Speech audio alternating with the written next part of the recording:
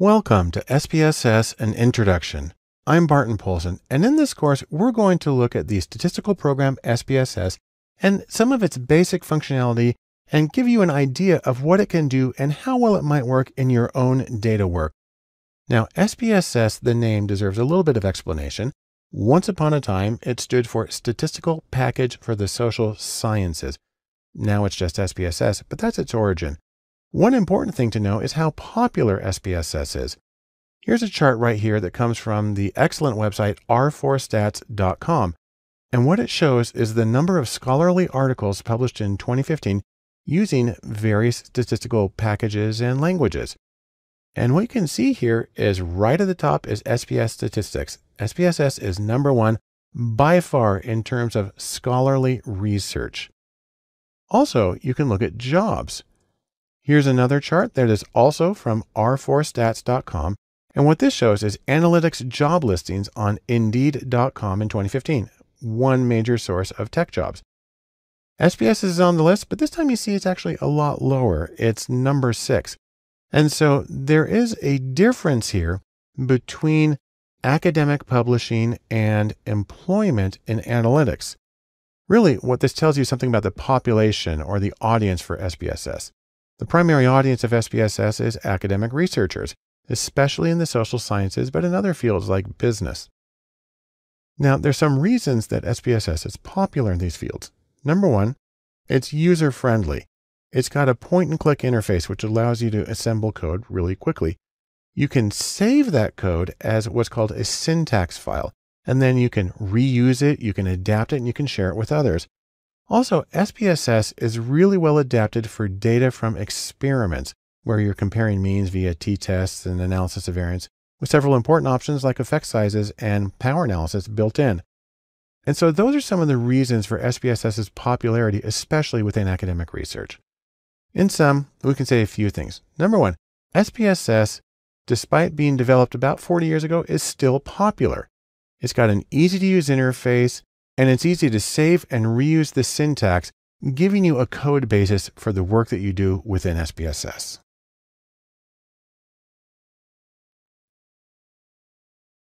The first thing we need to talk about in SPSS An Introduction is setting up and getting ready to do the work.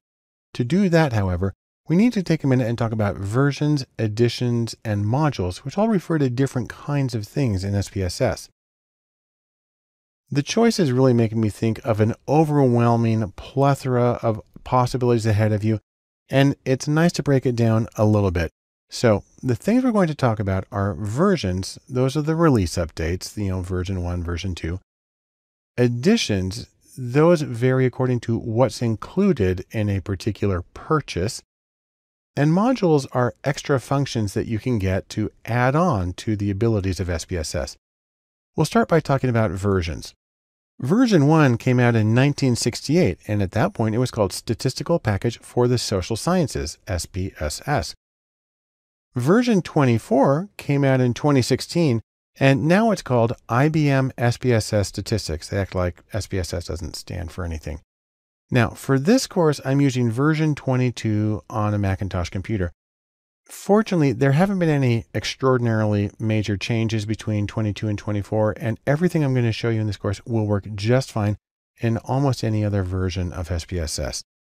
Now, it is possible that you've heard of something called PASW at some point, and SPSS was briefly called Predictive Analytics Software during a trademark dispute after SPSS got bought by IBM. That only lasted for a year or so and it got resolved. The important thing to know is that no matter what version you're using, the files generally are highly compatible between versions. And so code that you created in version 16 is probably readable in version 24. There are some backwards compatibility issues for advanced functions like automatic modeling and so on, but most of it is consistent all the way through. Now we also need to talk about editions of SPSS. And there are a few major choices here. There's the base edition, the standard edition, the professional edition, and the premium edition. And they differ by price and they differ by the functions that are included with each edition. So for example, in base, You get basic statistics, you get linear regression, you get clustering and factor analysis. On the other hand, standard adds on to that logistic regression, generalized linear models, and survival analysis. It also adds drag and drop interactive tables. The professional edition adds to that data prep, forecasting, decision trees, and imputation methods.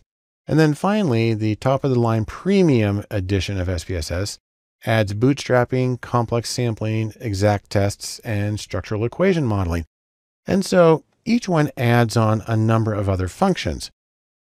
Now, this is the product pricing as of August of 2016. And you see, for instance, that SPSS starts in the base at $1,170 per year per person. So it's an annual license. And it goes all the way up to nearly $8,000 per user per year.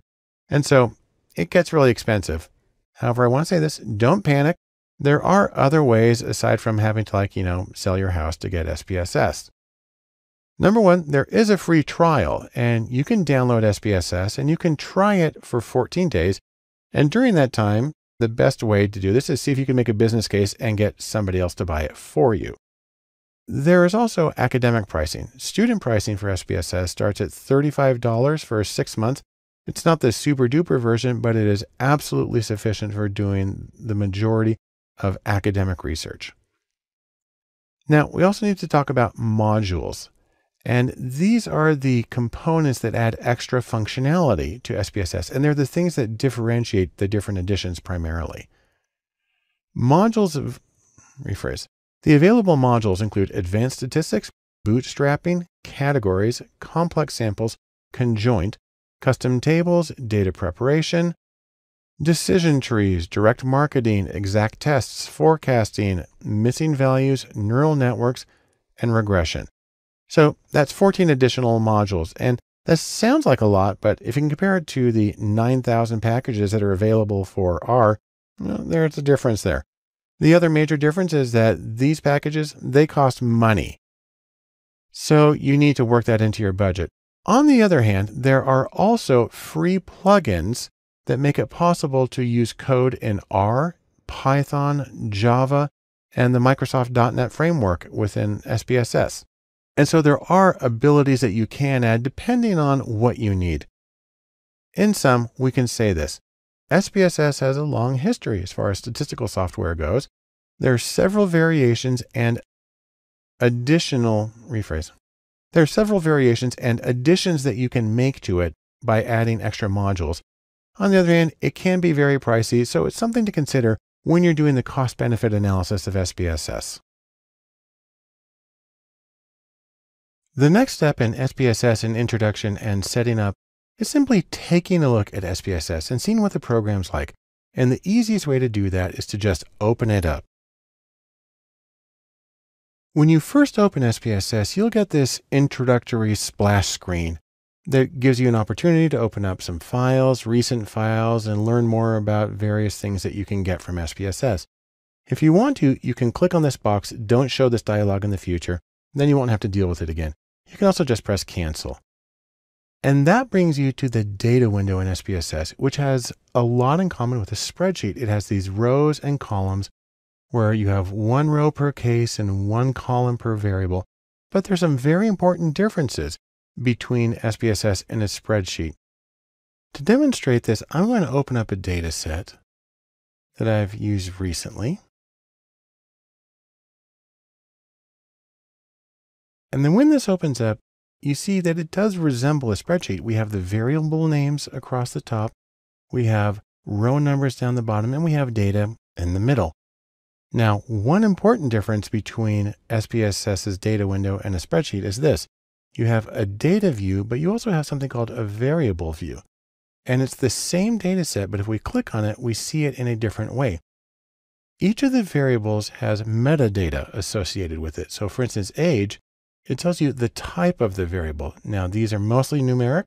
There's a string variable, but you can see there's a lot of choices here, numeric, comma, dot, and so on. You also can specify the width of the variable, the number of decimal places, and then a really important thing that makes SPSS different from most other programs is the use of labels. This column right here shows variable labels, and the idea is we have a short one-word variable name over here on the left. And if you use a very old version of SPSS, they were limited to eight characters, and you ended up sometimes with very cryptic names. You don't have quite the same restrictions anymore, but what's common is to give a short name to the variable and then to give it a label that is more descriptive. In addition, you can have value labels. So let's come here to marital and we click on this. And this is a way of telling SPSS that in that column, zero means unmarried and one means married. Obviously, you can make them whatever you want. And when you come back here, you have the option of seeing them. So I'm going to come right up here and I'm going to click on this one, which will show the value labels. And you see how they've appeared now. And I can have them go away. And with the variables, if I just hover over, then I see the longer name. Going back to variable view, you can also specify values for missing values. You can give the width of the column, the alignment, and then you can specify the scale of the rephrase. And then you can specify the level of measurement. Now, SPSS uses three values, scale, which is a interval or ratio level measured variable, ordinal, which is ranked data, and nominal, which is categories. You also have the option of specifying whether something is an input variable, a target variable, or both. And there are certain functions that use those, but most of the time that's not a big deal. And you see that in this demonstration data set, those haven't been changed at all. So the first window in SPSS is this data window, but there's more to SPSS than that. So for instance, let's make a very quick graph. I'm just going to make a simple chart here. I'll come and make a histogram of age and hit OK.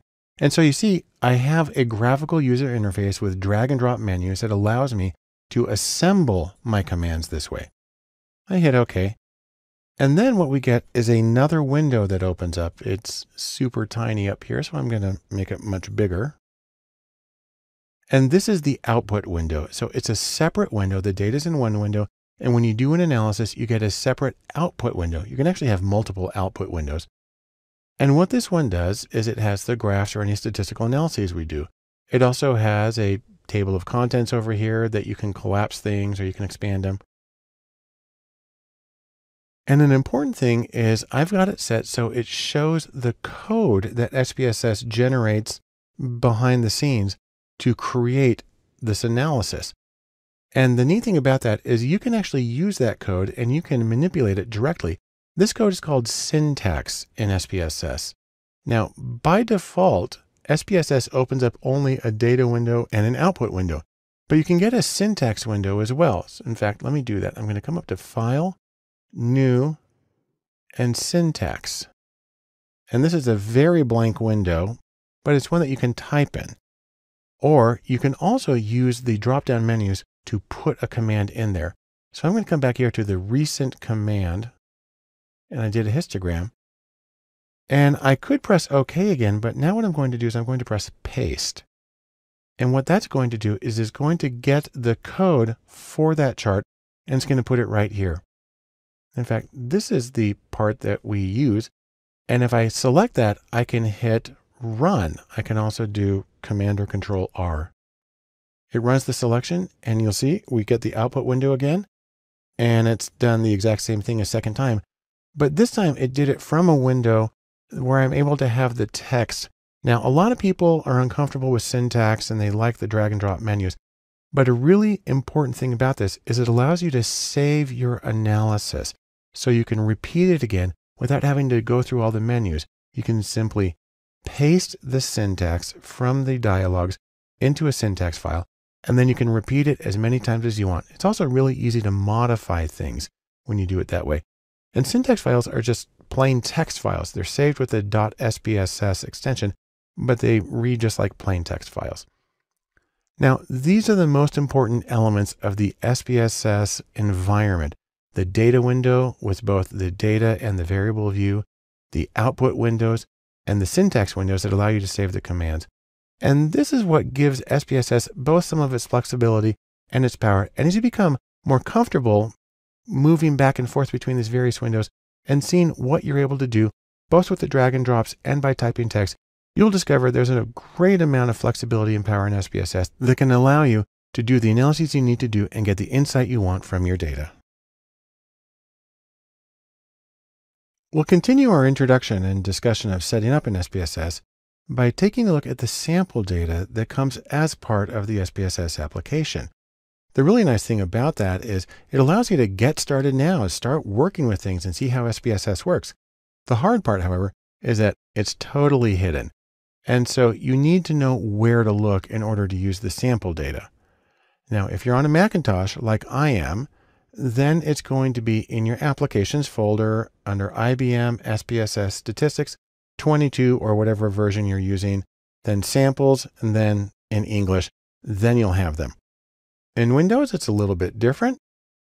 It's going to be C, program files, IBM, SPSS statistics, 22 or whatever version you have, samples, and then English.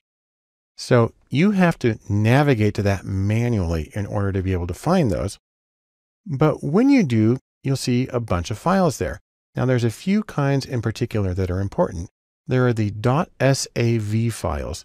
These are data files in the proprietary SPSS format. They can only be opened up in SPSS, usually. And there are also .sps files. And these are SPSS syntax files. They're text files with the commands that can run a number of analyses and graphs and other functions in SPSS. Now, we can try it in SPSS by having you on your computer open up the window and opening up a file called demo.sav. But let me show you how it works. When you navigate to the folder with the SPSS sample files in it, again, it's several hidden layers down. These are the files that you'll find. These are the .sav data files, and these are the .sps syntax files. Now there are other things in there. There's something called a CSA plan. That's an analysis plan. There's an XML file, and there's a few other things in there. But the majority of what we want to deal with, in fact, rephrase. But the only ones that we're going to deal with are the .sav files and possibly the .sps files.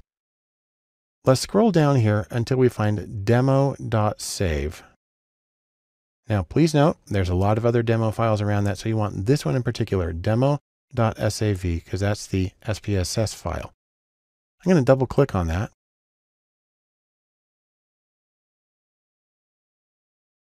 And SPSS opens up the file. Now you can set SPSS so that it has only one data file open at a time, or you can have multiples. I'm going to close this empty file right here. But here is our demo file. And this allows us to start working with a lot of the analyses and see how they work. In fact, I'll be using this file all the way through this entire course because it allows you to do a number of analyses that require specific kinds of data. And this has it all set up. So I'll show you a very quick one. I'm going to come up to Analyze and to Explore. And I will get level of education and put that in. And so I have a long list of variables that I can work with. These are all the same variables. I'll just hit OK. And that opens up my output window. Again, it opens it up microscopically here in the top corner. So I'm going to make it bigger.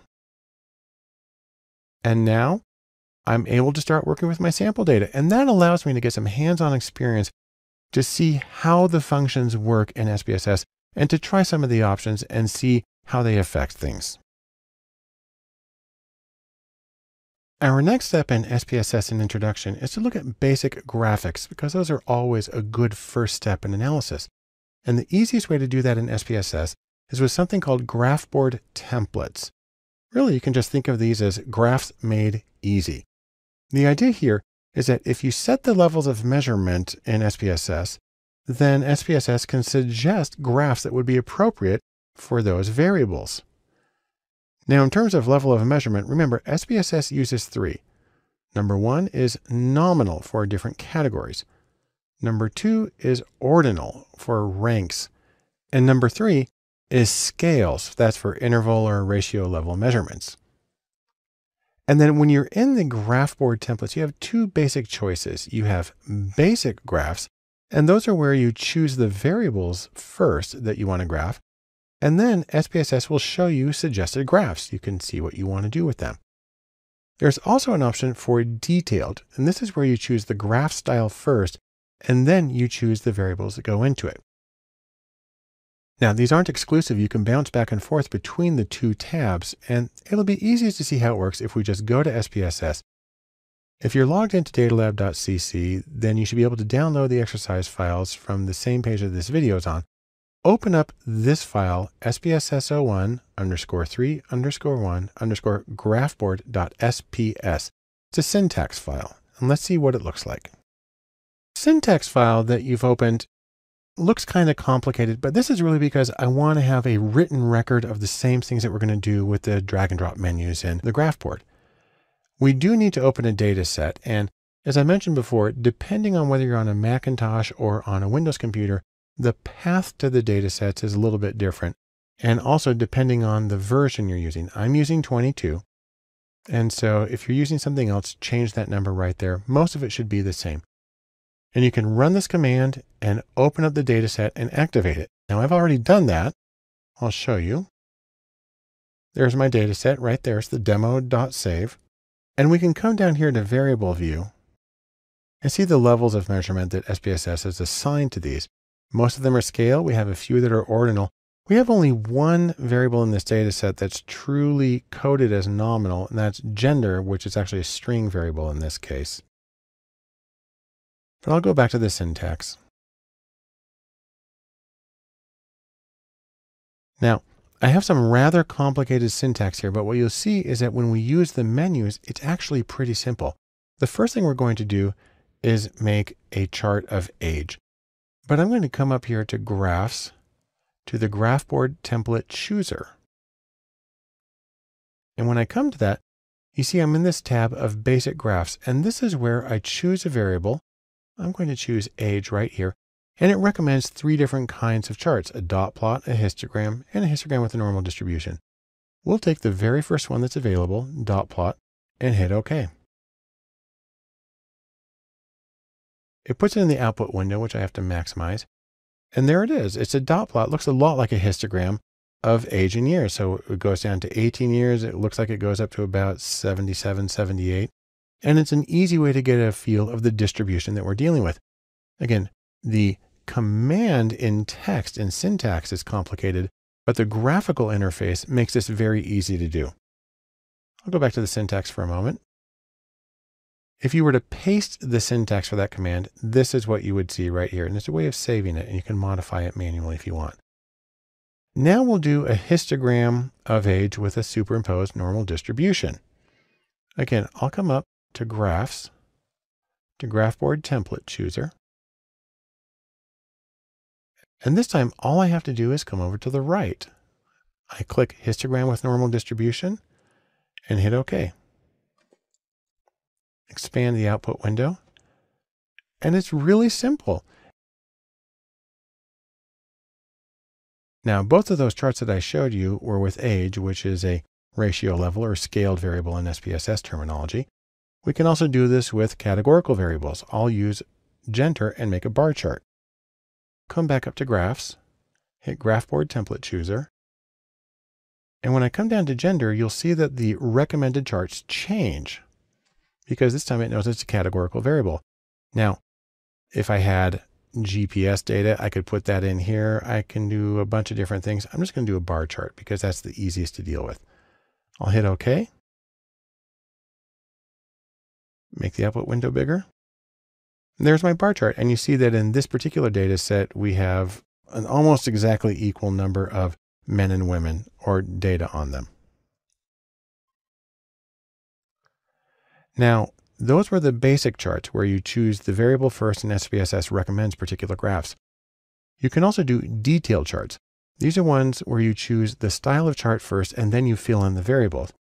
I'm going to do this again for a dot plot of income and then show you that it's really easy to modify it. I'll come up to Graphs, to Graphboard Template Chooser.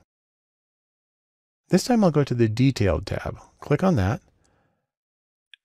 And I'm going to make a dot plot. So I'm going to scroll through this. You see we have a lot of choices. I'm going to choose dot plot. And then it's going to ask what I want to make a dot plot of. And I'm going to click on this and I'm going to scroll to income. See, the one that I want is right here, household income in thousands. I can click OK and then expand the output window. And here's my chart. It's a really basic chart, and you see that most of the people are at the low end, especially because this is hundreds of thousands of dollars. So that's going to be a million dollars right there. But I want to show you an interesting thing about this. If we double click on the chart, that opens up the edit window and the graph board editor has some special options. For one thing, I can change the number of decimal places here. I just click on the decimals, come to format and change the minimum level, or rather the minimum number of decimals to zero. That's better. But a more interesting one is if I click on the dots themselves, they're done as points and the modifier is to pile them. There are a few other modifiers that can be useful. One is to dodge them. And what that does is it puts them in the middle, expanding out either way. It might be a little harder to make comparisons from one level to another, but it's an interesting kind of chart. I can click on it again, and we can do what's called jitter with a normal distribution and that takes points with the same value and it kind of randomly spreads them out up and down. And again, you can see that we've got a whole lot there at the bottom. One other choice is jitter uniform, which makes them stay within certain boundaries. But it's hard to tell really how much things are spread out there at the bottom. So I actually prefer pile or I think dodge is interesting in this case. And so that's one way of using Graphboard to both set it up and then to manually modify it by double clicking on the chart.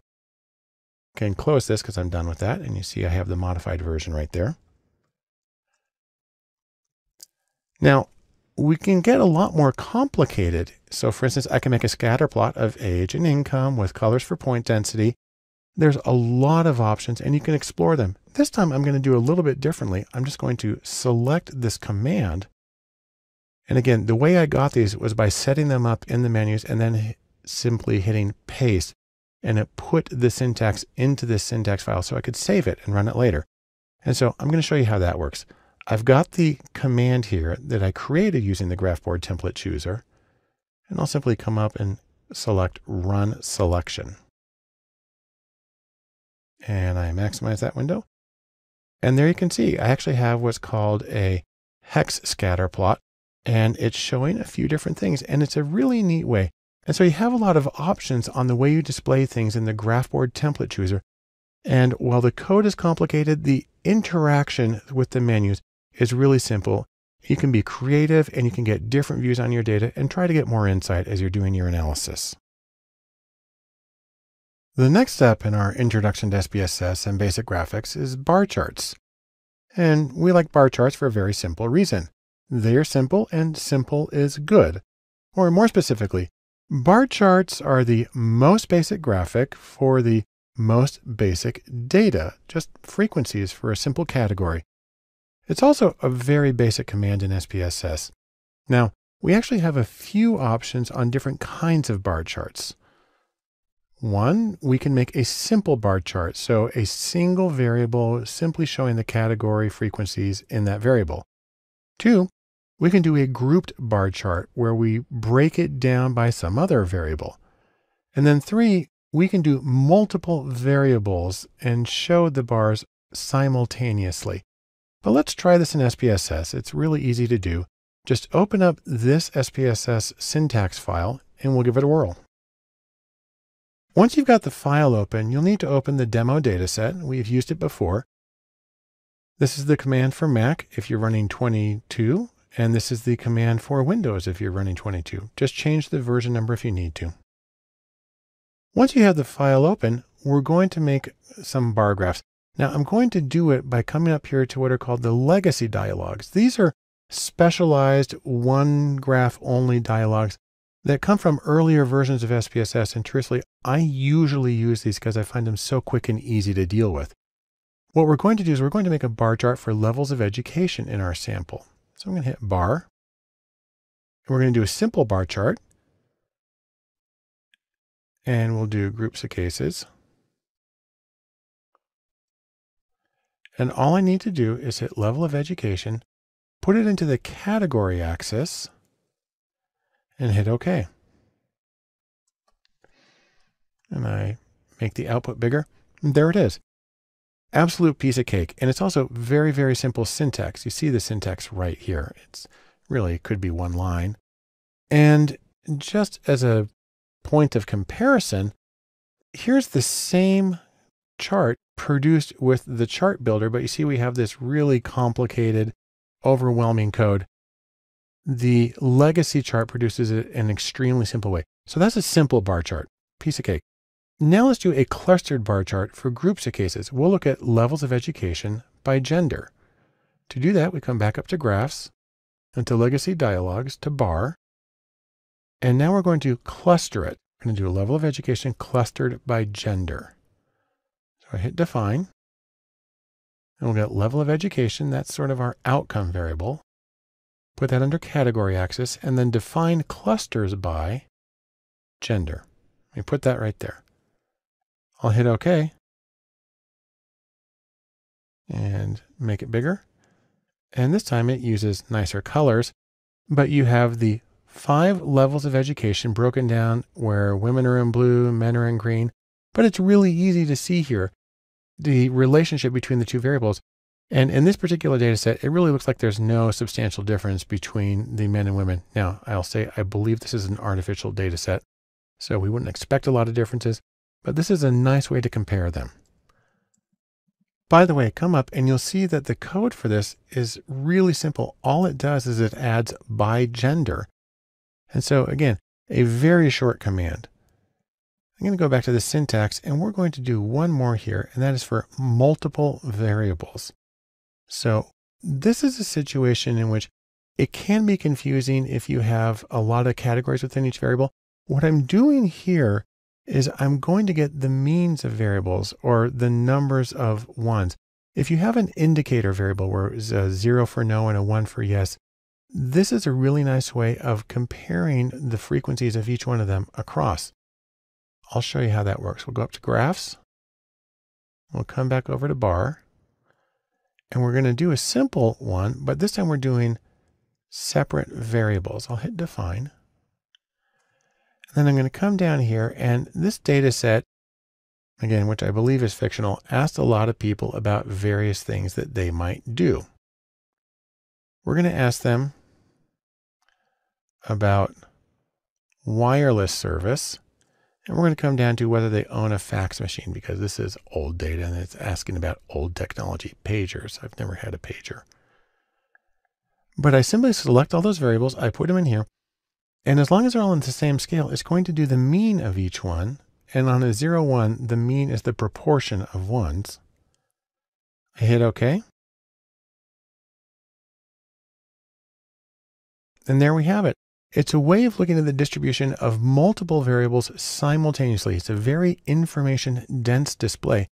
And especially when you as an analyst are exploring your data, this can be a really quick and easy way of getting a feel for your data, which can then direct your further analyses. As we continue to look at basic graphics in SPSS, a really common one is histograms. And this is a graphic for data that is quantitative or scaled or measured or interval or ratio level. Those really all are referring to basically the same thing. And in any of them, you're going to want to make a histogram to see what the variable is like. Now, I'll mention that SPSS prefers the term scale for these variables, and that's what shows up in the data definitions. And I like to think of it as the scales of justice. But why are we making a histogram? The point is to see what you have, to see what the data is like. And there's a few things in particular that you're going to be looking for. Number one, you're going to be looking for the shape of the distribution. Is it unimodal, bimodal, skewed left, skewed right? Are there gaps in the data that suggest that maybe you have some important mechanism operating? Are there outliers that you would need to take consideration of before you do your analysis. Is your data symmetrical? There are a lot of different things that you could look for, and some of these are going to have a lot of influence on your analyses. So it's important to take a look at the data, and histogram will give you a great impression of a quantitative or scaled variable. We'll try it in SPSS. Simply open up this syntax file, and we'll see how it works. When you're in SPSS, most of this is really just to open up the data set. It's the same one we've used in the others, this demo data set. And here's the code for Mac. Adjust the version number if you need to. And here's the code for Windows. But once you have the data set open, you can use the commands and it's really, really simple. All you need to do is come up to graphs. We'll go to legacy dialogues and we'll come down here to the bottom to histogram. And we're going to make a basic histogram of age. So I click that and I come to age, it's our first variable, and I simply click this to move it over and hit OK. I'll make the output window bigger. And there's our histogram. And from this, we can see that our distribution is unimodal. We can see it's pretty close to normal. It's slightly skewed on the high end, but not very much. And this is going to be a really good variable for most of our analyses because it meets most of the assumptions of the kinds of procedures that we might want to use.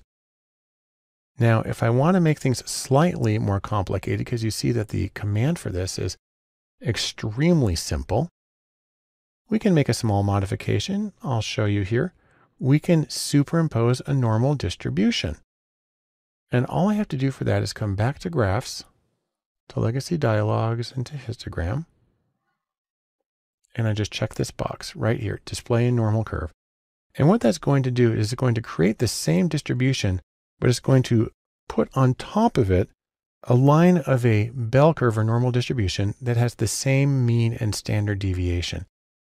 And here you can see we're pretty close to normal. And this is a nice way of confirming that. And again, the code for it is really simple. All it does is it adds the word normal. In this sentence, and that gives us everything we need. It's one of the reasons I really like the legacy dialogues in SPSS is because it's so concise, it's so simple, and it gets you what you need so you can get a grip of your data and move ahead.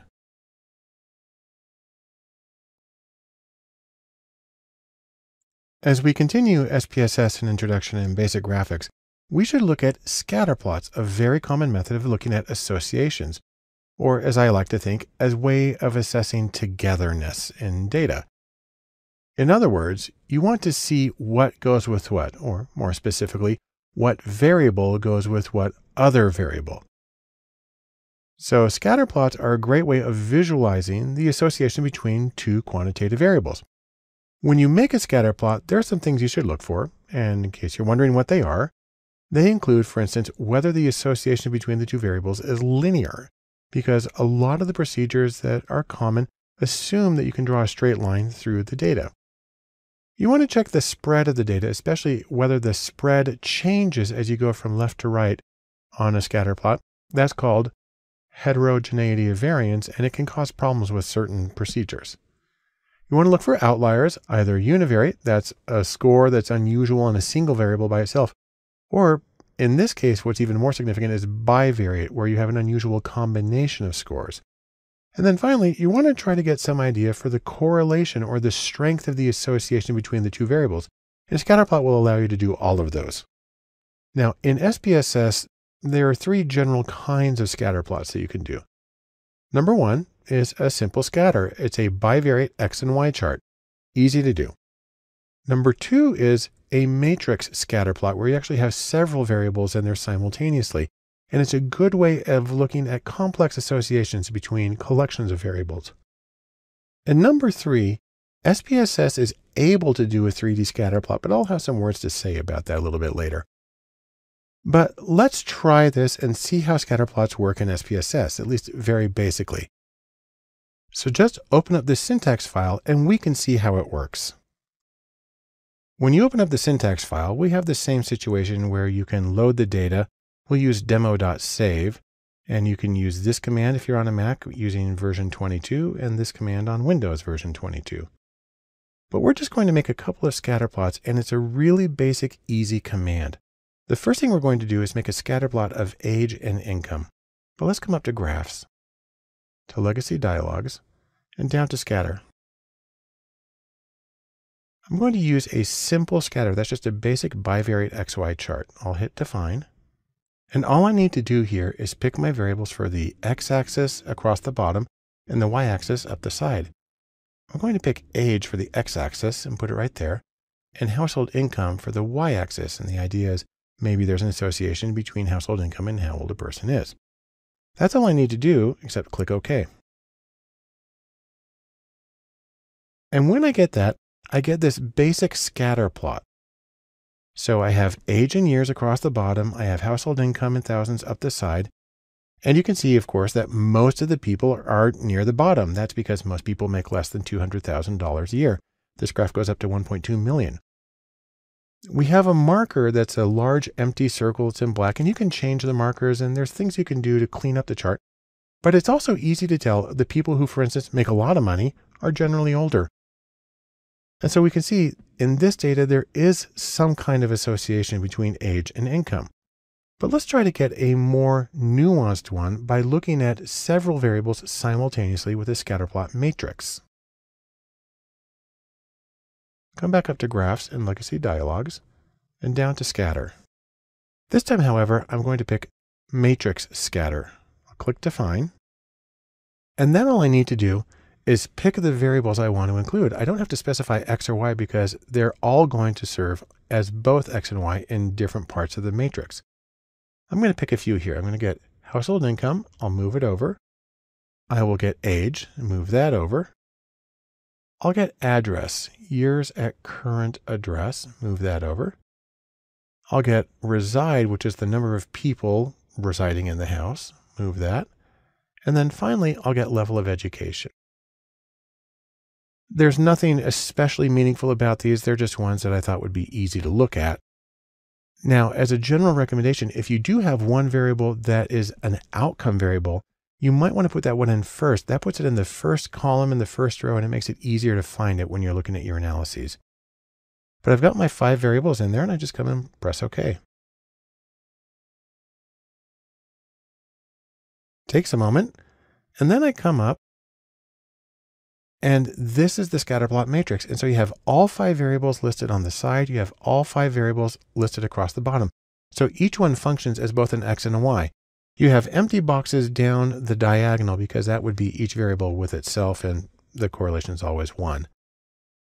Now, there are things you can do to clean this up. You can change the marker from a big black circle to something that's smaller and easier to see. You can put regression lines through. But it's easy to see that there's some really important patterns. So for instance, age in years and years at current address right here, obviously there's a limit. You can't live someplace longer than you've been alive. That's why we have nothing in the top left of that. But you do see some associations and some cutoffs that go through. Now, this one's really dense. In a lot of situations, it's going to be a lot easier to see the patterns that's there, especially if you change the markers and put in regression lines. But this gives a good idea of what you can do with a scatterplot matrix. Now, let's go back one more time to the legacy dialogues and to scatter, because you saw that there were other options there. There's a dot plot that's like a histogram, and there's an overlay scatter, which I don't want to deal with. And then there's a 3D scatter, and you might look at that and go like, oh, cool, it's interactive, it's 3D, it's a great thing. I'm actually not even going to do it because Every time I've done a 3D diagram, I found it's impossible to read it clearly. It's very hard to manipulate in SPSS, and it ends up being really a bad experience. And it's much easier to look at the association between variables using a scatterplot matrix. That's why I recommend that you avoid the 3D completely, even though it's available here, but avoid it completely and use the bivariate and the scatterplot matrices as a way of looking at the associations between variables in your data. Once you've done the basic graphics for your data and seen what you're dealing with, it's a good idea to move on to basic statistics. And in SPSS, the most basic version of this is frequencies. I like to think of it as putting things into buckets and then simply counting what's in the buckets. So the idea is when you have a limited number of categories in your data, then you should just count how often each category occurs. It's a first step to really some significant insight. But wait, I just want to mention that the frequencies command in SPSS can do so much more than that. And I'm going to show you how it works. For example, it can do charts. It can do bar charts and pie charts and histograms and normal distributions. And it can do a lot of statistics beyond frequencies. It can do quartiles, percentiles, mean, median, mode, standard deviation, variance, skewness, kurtosis, and so on. In fact, because of this, I like to think of frequencies as SPSS's version of the competent man character in literature and movies who can do everything well. You know, somebody like Leonardo da Vinci or Iron Man who seems to be able to do everything. Or, you know, Marie Curie right here because she won two Nobel Prizes and what have the rest of us done? But anyhow, back to statistics. Let's take a look at frequencies and let's try it in SPSS. Just open up this syntax file and we'll see the things that it's able to do for you. As always, we need to begin by opening a dataset. We'll use demo.sav, and you can use this command in Mac or this command in Windows to do that. Once you have the dataset open, it's a very simple thing to get the frequencies. Now, I have the syntax saved here, but really it's more as a record of what I've done because I use the drop-down menus to create these commands. So I'm going to come up to frequencies and I'm going to get the frequencies for gender and job satisfaction. To do that, I come to analyze to descriptive statistics. And then the first option there is frequencies. And what I'm going to get is gender, which is right here. I'll just double click to move it over. And we'll also get job satisfaction. I'll double click and move that over. Now, what's important is these are two different kinds of variables. Gender is a categorical variable, nominal. And job satisfaction here is a scaled variable. And so normally you don't do the same kinds of things for these, but frequencies is very flexible. So I'm just going to hit OK, and we'll see the default output for frequencies. The first thing that it shows us is how many valid observations there are. So how many of our 6,400 cases have data on these variables? The answer is all of them. There's no missing data here. And then it comes down and it gives us frequency tables where it lists every value or possible score on the variable and then says how often each one occurs. So for gender, we have 3,179 female respondents. That's 49.7%. And the percent and the valid percent would be different if we had missing data. Uh, but we don't, so we can ignore that. And then the cumulative simply adds up to 100. And then job satisfaction this is a scaled variable which has 1, 2, 3, 4, 5 as answers. And here you can see how many people put each of the answers. 17% highly dissatisfied, 21.8 neutral, 19.1 highly satisfied. And that's a quick look at the frequencies that we're dealing with. It's a nice way also to check if your variables are coded well. But what we can do is more than that. We can also turn off the tables and we can do bar charts using the frequencies command. So I'm going to keep those same two variables, gender and job satisfaction, but this time I'm just going to make bar charts. I'll go back to my recent commands, frequencies. And what I'm going to do is I'm going to click this. It's going to give me a little error message because I haven't changed the other thing first. But I'm going to come to charts right here. I'm going to tell it to make bar charts. Obviously, it can make pie charts and histograms as well. I'll click continue and then click OK.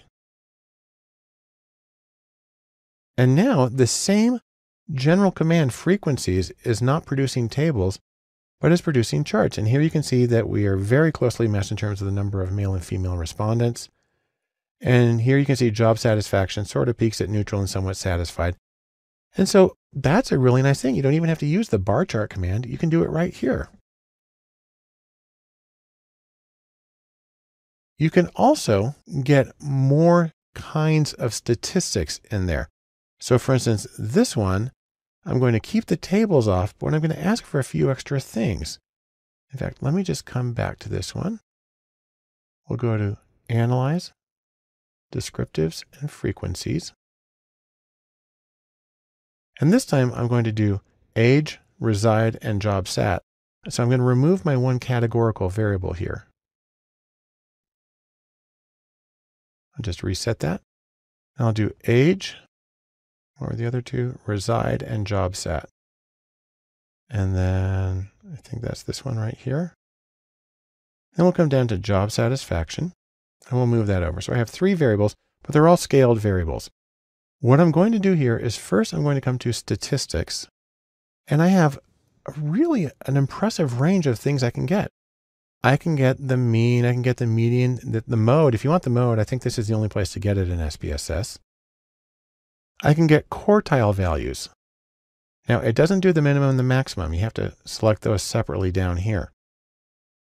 But you can also get cut points. Now, a cut point's an interesting one. The quartiles are cut points. It splits the data into four equal size groups with the same number of people in each. Sometimes you want something other than that. So for instance, I know that if you're doing propensity scores, it's not uncommon to use five equal groups, quintiles. And also, there are situations in which you want not the most extreme scores, but near the most. And so I'm going to put, for instance, the 2.5 percentile and the 97.5 percentile because those frame the middle 95% of the data. I can also get the standard deviation and the variance. And is there anything else I want right here? I want skewness and kurtosis. I'm going to hit continue. Then I'm going to come back to this one. I'm going to turn off the frequency tables because otherwise I have a lot of different possible answers here. I'd have a lot going on. I'll hit charts and this time I'm going to ask for histograms and we'll put a normal curve on top of each histogram. Click continue and click OK. And so here's what we get. It starts with the statistical output. Here are the three variables I selected. It gives us the mean, the standard deviation, the variance, skewness and standard error of skewness, kurtosis. We have the minimum and maximum scores, and then the percentiles. Now it's a funny list here because I've got three things intermingled. I have the quartiles, that's something I asked for. So we have the 25th percentile, the 50th percentile, and the 75th percentile. Those are the quartile values. I had the minimum and maximum up here, so those are the 0 and 100% quartiles. But I also asked for quintiles, and so that splits it at 20, 40, 60, and 80%. And then finally, I manually entered the 2.5 percentile and the 97.5 percentile. And so they're all put there together, but it's really easy to see the changes in the distribution. Beneath that, we have the histograms. And we have each variable has its own histogram along with a normal distribution with the same mean and standard deviation laid on top. Age is pretty close to normal. Years at current address, however, you can see is really skewed because most people haven't lived there that long. And then finally, job satisfaction is a little flatter than we would expect if it were normally distributed. The point of this is that I'm able to do a tremendous amount of statistical and graphical work using a single command, the frequencies function in SPSS, one of the most versatile commands you'll ever use. In our previous movie, we looked at the power of the frequencies command, but for basic statistics, another very common choice is descriptives within SPSS. The neat thing about descriptives is it allows you to achieve maximum density. That is, how to get a lot of numbers on a lot of variables in just a little space. That's what descriptives is really good for. On the other hand, there is a restriction. It works only with numerical variables, but that's a lot of the data that you might have. And if you have that, it can give you things like the mean, the sum, the standard deviation, the standard error, the variance, the minimum and maximum, the range, the skewness, and kurtosis. You know, I say, but guess what? You know, in case you don't remember, frequencies does more, but that's okay. There are certain things that the descriptives command does well. Here's what it does well. First, it gives you very concise, compact, tabular output. So it's really easy to see a bunch of information in a small space.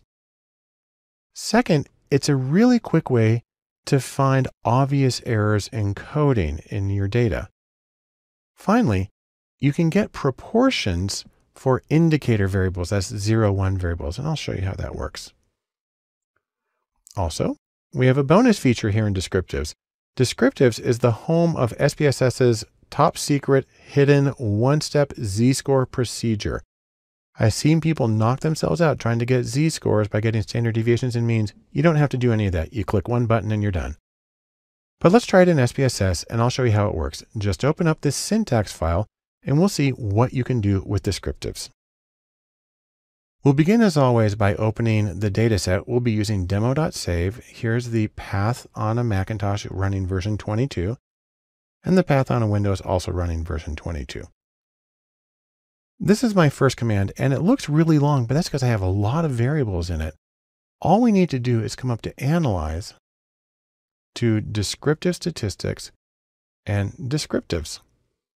We click on that. Now, one of the things it does is it only shows you the variables that it can analyze. So gender, which was a string variable, meaning it had just text, that's not in there.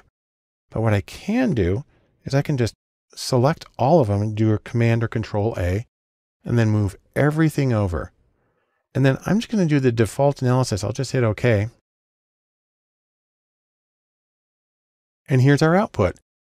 We have a whole bunch of variables and it tells us first the number of observations is 6,400 almost all the way down. This question about internet is missing some data, but that appears to be the only one. We have the minimum value and the maximum value. By the way, this is where I talk about quick and easy data checking. If you have a variable that's only supposed to go from 1 to 5 or 0 to 1, if you have a 17, you know something's wrong. And so by simply checking the outer boundaries, that's a fast way of seeing if there are any really obvious errors. We also have the mean and the standard deviation, two of the things you generally need, the first two moments of a distribution. And so that's a lot of information and it's in a very concise format. That's a wonderful thing. Now, if we go back to the syntax, I do want to mention this one thing about indicator variables. I said it earlier. It's this. If you have indicator variables, that's a binary or dichotomous variable that has only two possible values. And if that variable is coded as zero and one, then you can in fact get the mean of it. And it tells you something. It tells you the proportion of observations that have ones. And this works best if you use the standard programmer format of zero equals false or no, and one equals true or yes.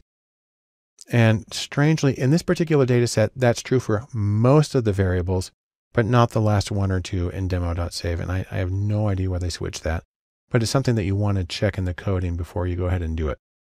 And so if I go back to the output, you can see, for instance, that most of these wireless service down through owns fax machine, those are all zero ones where zero is no and one is yes. The mean right here tells us that 99% of the people own TVs, 96 own VCRs because this is a long time ago. That 25% had paging services and I like this one. Where's the internet on this list? 27% had the internet because this was apparently generated in like, you know, 1990, who knows what. Anyhow, those are meaningful data points. The mean tells you the proportion of ones or yeses. I'll go back to the syntax here. And then let's take a quick look at the z-scores. Now, any reasonable person would think that a z-score is a transformation of the data, and therefore it would be under the transform menu. But you know what? It's, it's not there. Instead, it's hidden as an option in descriptives. So let's go back to descriptives. And let's do age and income. So I'm going to reset this. I'm going to pick age and I'm going to pick household income. And I'm going to get both of these as z-scores because a lot of procedures work a lot better if you have z-scores. All you have to do is this. Click Save Standardized Values as Variables. And if I hit OK, what it's done here is it gives me the descriptives because I actually still ran the descriptives command for those two variables. But more significantly, let's take a look at the data set. When I come to the dataset, if I scroll to the end here, I have two variables that were not there previously, Z age and Z income. And they have lots of decimal places because you need those with z-scores.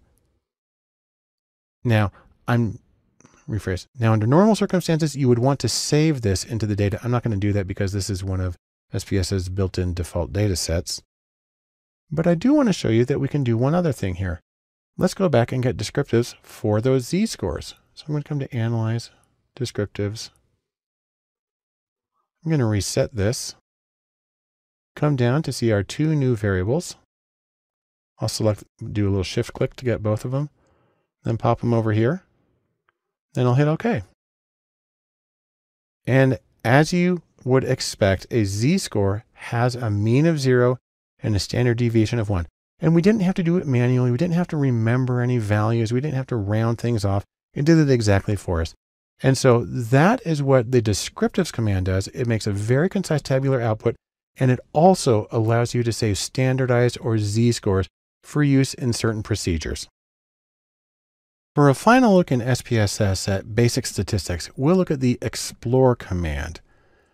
I like to think of this as a way to get a lot closer, get a little macro view on your subject, get closer and see what's there in detail. Now, the explore command is going to give you a bunch of statistics. It can give you the mean and the confidence interval for the mean and the trimmed mean, as well as the variance, the standard deviation, the interquartile range, the minimum and maximum, the range, skewness, kurtosis, a collection of M estimators, which are special robust ways for measuring the center of a distribution, percentiles, which we've seen before, and lists of outliers. It can also give you a collection of plots. It's the one place in SPSS that you can get a stem and leaf plot. Now, traditionally, those are things that are drawn by hand, so it's kind of cute to see a computer do them. You can also get box plots, and you can get histograms, and you can get a set of normality plots, such as a QQ plot or a detrended QQ plot. And the neat thing after that is you can break all of these analyses down by groups. So let's try it in SPSS and see how it works. Just open up this syntax file and we'll run through the various procedures in Explorer and see how it can add to your own analysis. As always, we'll begin by opening the demo.sav dataset. Here's the command for a Mac. Here's the command for Windows. Now again, I'm saving this as syntax. That makes it repeatable and it means so you can download it and try running it on your own. But I created all of this by using the menu commands. Let's start by doing a default explore analysis for a couple of variables. I'll come up to Analyze, to Descriptives, and then we'll come here to Explore. And what we're going to do is age and income category. And again, this is kind of interesting because these are different kinds of variables. Age is a scale variable, and income category in this case is an ordinal variable. I'm just going to leave all the defaults as they are and hit OK. And here's what we get from this. First, we find out whether there were any missing cases. There weren't in this situation. And then we get a collection of descriptive statistics for these. We have first for age, then for income category. We have the mean with the standard error, the confidence intervals, the 5% trimmed mean, median, variance, standard deviation, minimum, maximum, range, interquartile range, skewness and kurtosis, along with their standard errors.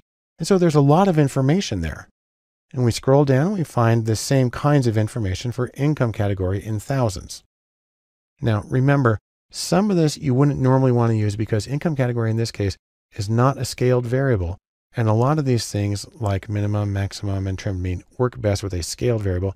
But SPSS is able to kind of run it on everything, so interpret with caution. Then we come down and look, we have a stem and leaf plot where this is age, which in our sample is two digit numbers. And so this means 1, 8, 18, and each of these leaves, each of these numbers over here is a leaf, that represents 10 cases. Remember, we have 6,400 cases. So we have about 640 numbers right here. And you can see, for instance, that the 30s appear really common, late 30s, and that we go up to somebody in their late 70s. And so that's an easy way to see what's going on. Simultaneously, we get a box plot. And the nice thing about this is you can tell really quickly there are no outliers on age, not in this particular data set. We do the same thing with income category, and the stem and leaf plot looks funny, but that's because there's only a few possible values, one or two or three or four. And it's drawing it so it looks a little weird. But we can come down and get the box plot as well. And we see there's no outliers, at least on this kind of variable. Again, not normally something you would do with a rank order variable, but it's possible here. Now, the neat thing is there are additional statistics. I'll do the same two statistics, but I'm going to go check off a lot of options that I have right here. So let's go back to that dialog. I'll go to explore. And what I'm going to do is I'm going to say, just give me the statistics right now. And I'll come up here and I'll make some selections.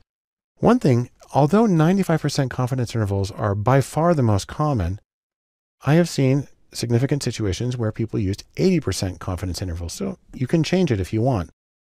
Then I can get all of the M estimators. It's a whole collection. I can get a list of outliers and a list of percentile values. I hit continue and I click OK. And now we have the same table we had before. That's their descriptives up there at top. Then we have the M estimators, and this is four different robust measures of center. Again, all of them are trying to give us something equivalent to the mean. And you see in this case, uh, Huber's M estimator, Tukey's biweight, Hampel's M estimator, and Andrews wave. The numbers are all pretty similar. I mean, it goes from a low of 41.18 to a high of 41.52, but they're all really close. And each of these has specific parameters that go into them. You can't adjust them in the dialog box, but let me just return to the syntax for one second. You see here, these are the parameters for each of the M estimators. You could change them here if you wanted to. I'll go back to the output. Then we have percentiles, 5, 10, 25, up to 95. And then it gives us the case numbers for the highest and lowest five cases on each variable. And so this is a really nice way of seeing a multidimensional picture of our data. Now, in terms of pictures, an even better way is to do this with more graphs. So let me go back to the syntax for a second. And you see that we can get some additional plots. I'm going to use age and income category again, but I'm going to change the, what it tells us. So first off, I'm going to say, give me just the plots. So we're not going to get any statistics. I'm coming to the plots menu. I say, well, we have a stem and leaf by default. Let's get a histogram. Let's also get normality plots. That's a way of assessing how closely your data match a normal distribution. I'll hit continue and OK.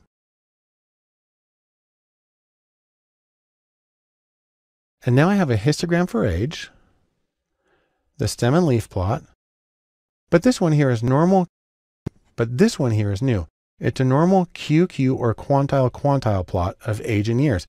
And if it were normally distributed, all of these circles would fall exactly on this line. You see it's really close, but it does deviate at each end.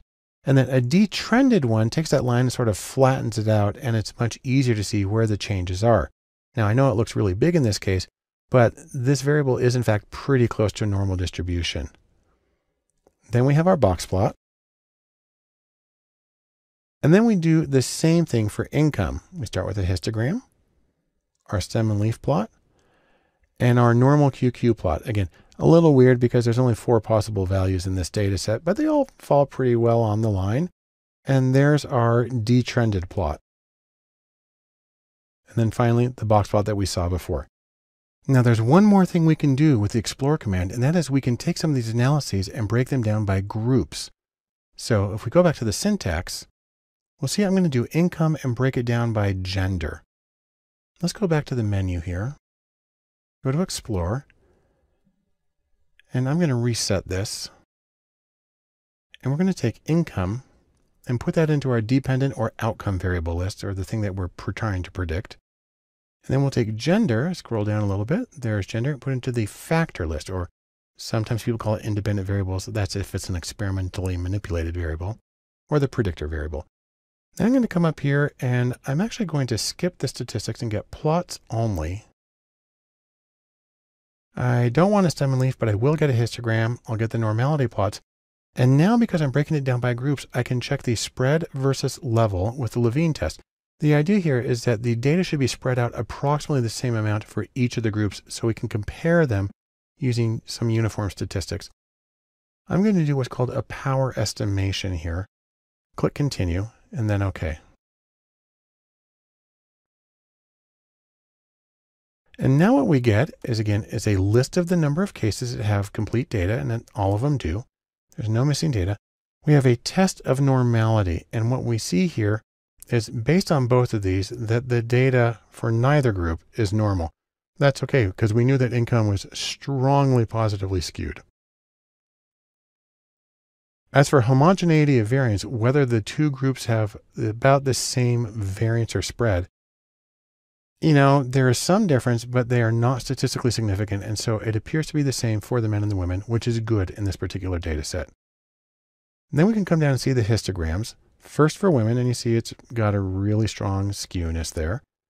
And the same thing again for men, really strongly skewed. Then we get the normal QQ or quantile quantile plots. And again, if it were normally distributed, all of these points would fall right on this line.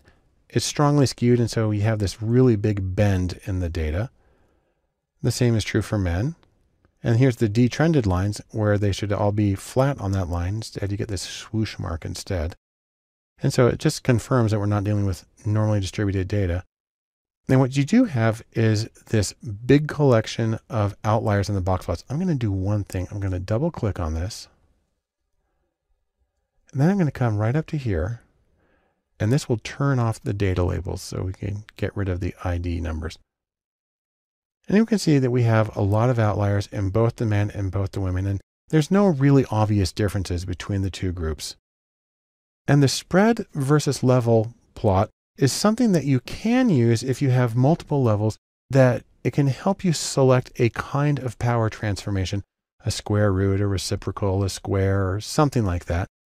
But that's a more complicated topic and something for another day. And besides, it appears that we have relatively homogeneous variance in the two groups. And so we'd be good to go ahead and do our other analyses. And so those are some of the options in Explore. And that's where we'll end our discussion of basic statistics. But you can see how they can be used to see how well your data meet the assumptions of the procedures that you use. And then really how well you can make inferences from your sample to other groups. When you're working in SPSS and you're accessing data, one of the most important things you can do is to create labels and definitions for your data. I like to think of this as the statistical version of Alice in Wonderland and the caterpillar, asking her to explain herself. You need to explain yourself, or more specifically, when it comes to your data, you need to tell SPSS what do your data mean.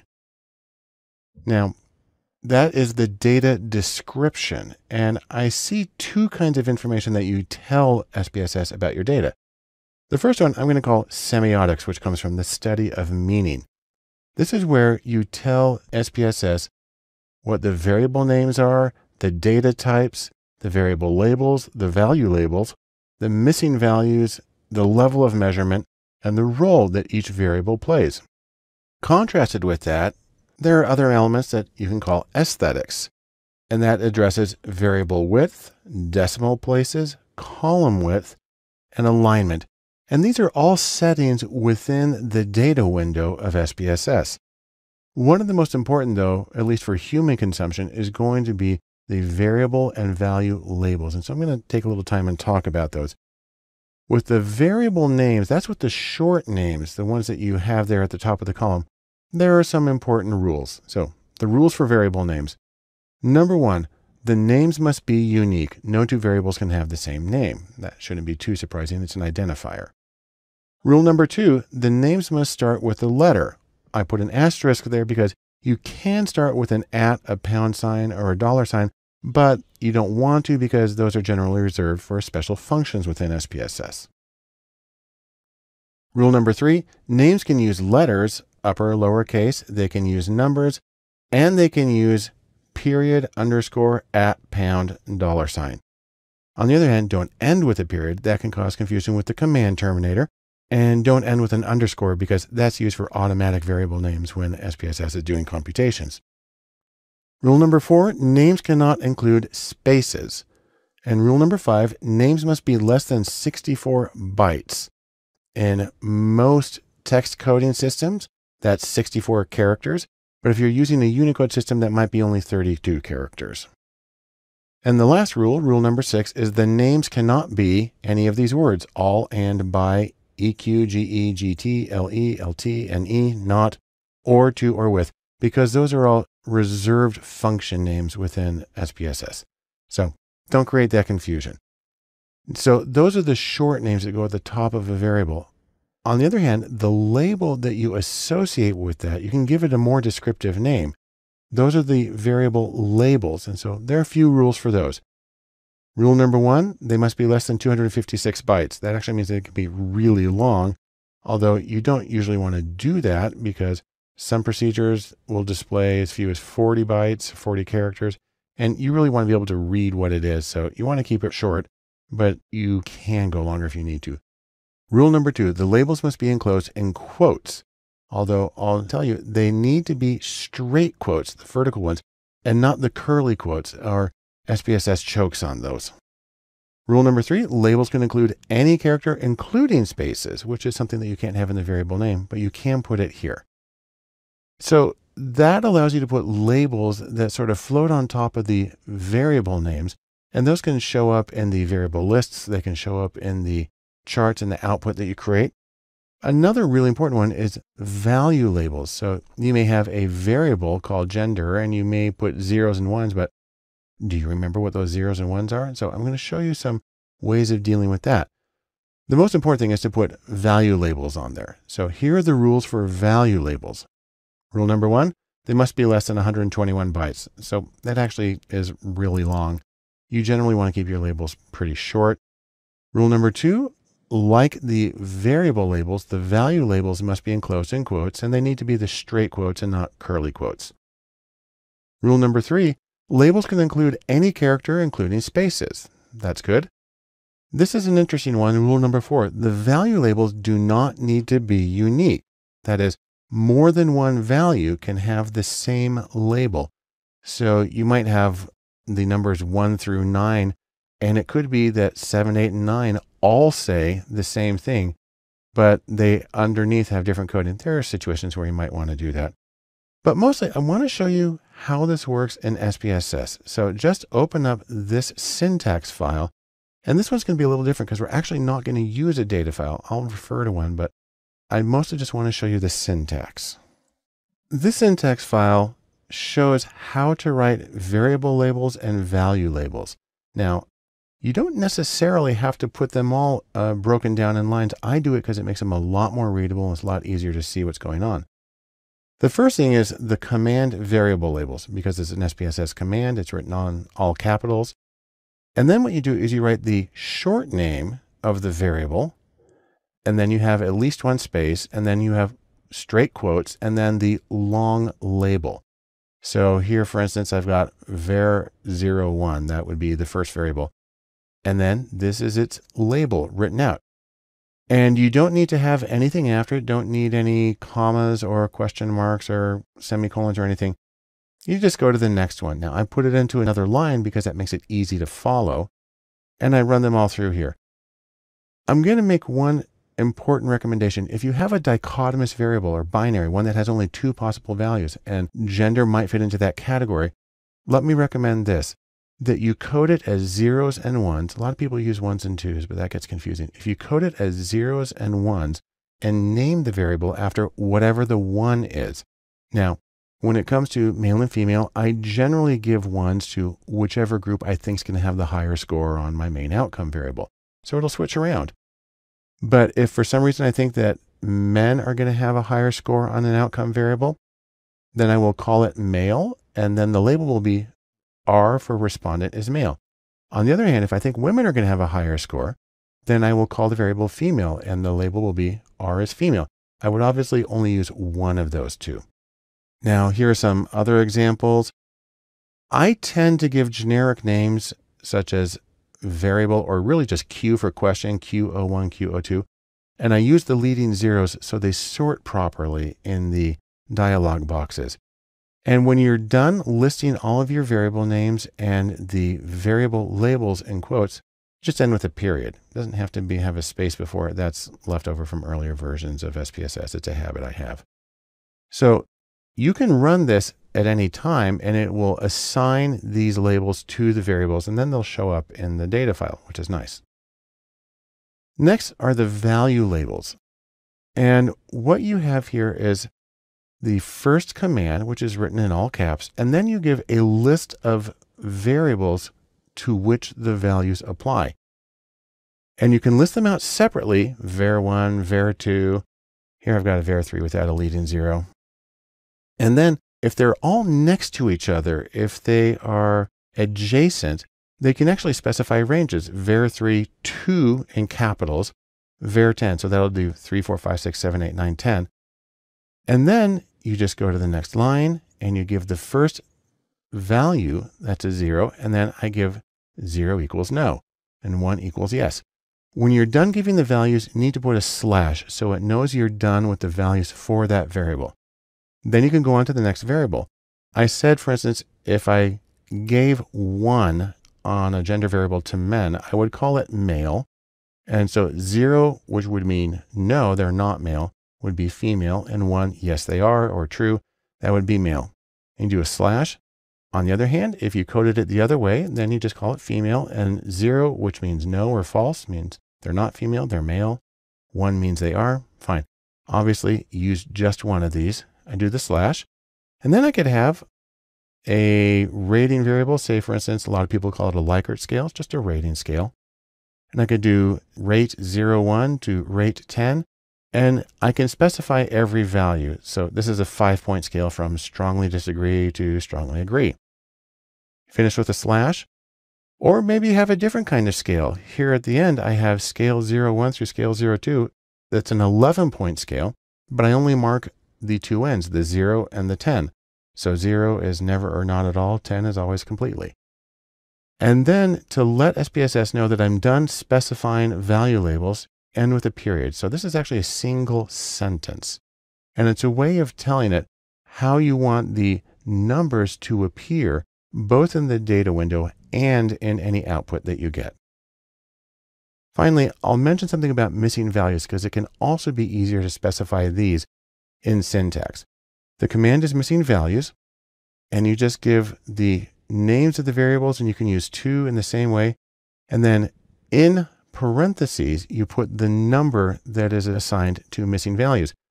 99 is common, so I've got that there. And then you can do a slash if you're going to use different codes after that. I could do male through female. And here I say two through high. And really what that means is anything other than a zero or a one is missing. So if I accidentally type in a seven, you know, it's missing.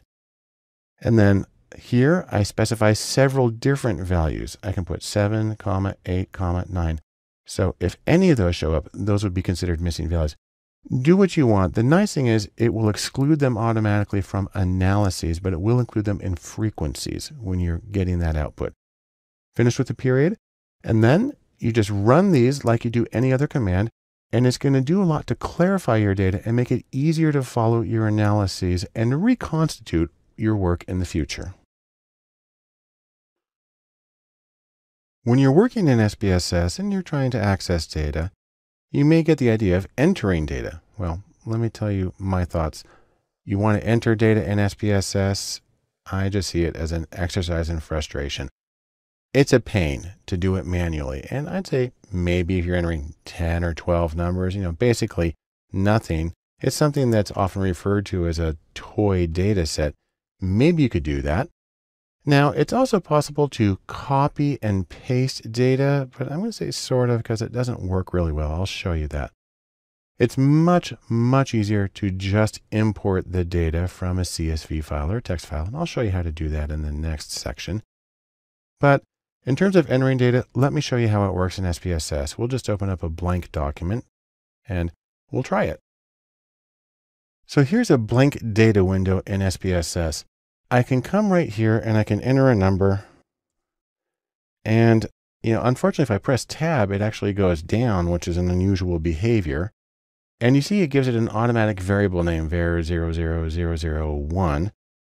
Well, if I want to move sideways, I actually need to move the right arrow key. So I'll go this way, two, three, and so on. And then I can hit return and it goes down. I'll come back to here and I'll go four, five, six. I'll hit tab and it comes back to the beginning.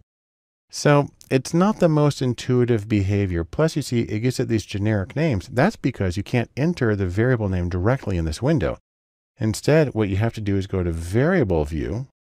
You can also get there by just double clicking on the variable name. Here we go. And you can enter the variable name and you can change other things you want to do. It works, but it's a pain. I'm going to come back here to data view. Now, I mentioned you can import data, sort of. So let me show you how this works. I'm actually going to go to a Google Sheet that has nothing in it at the moment.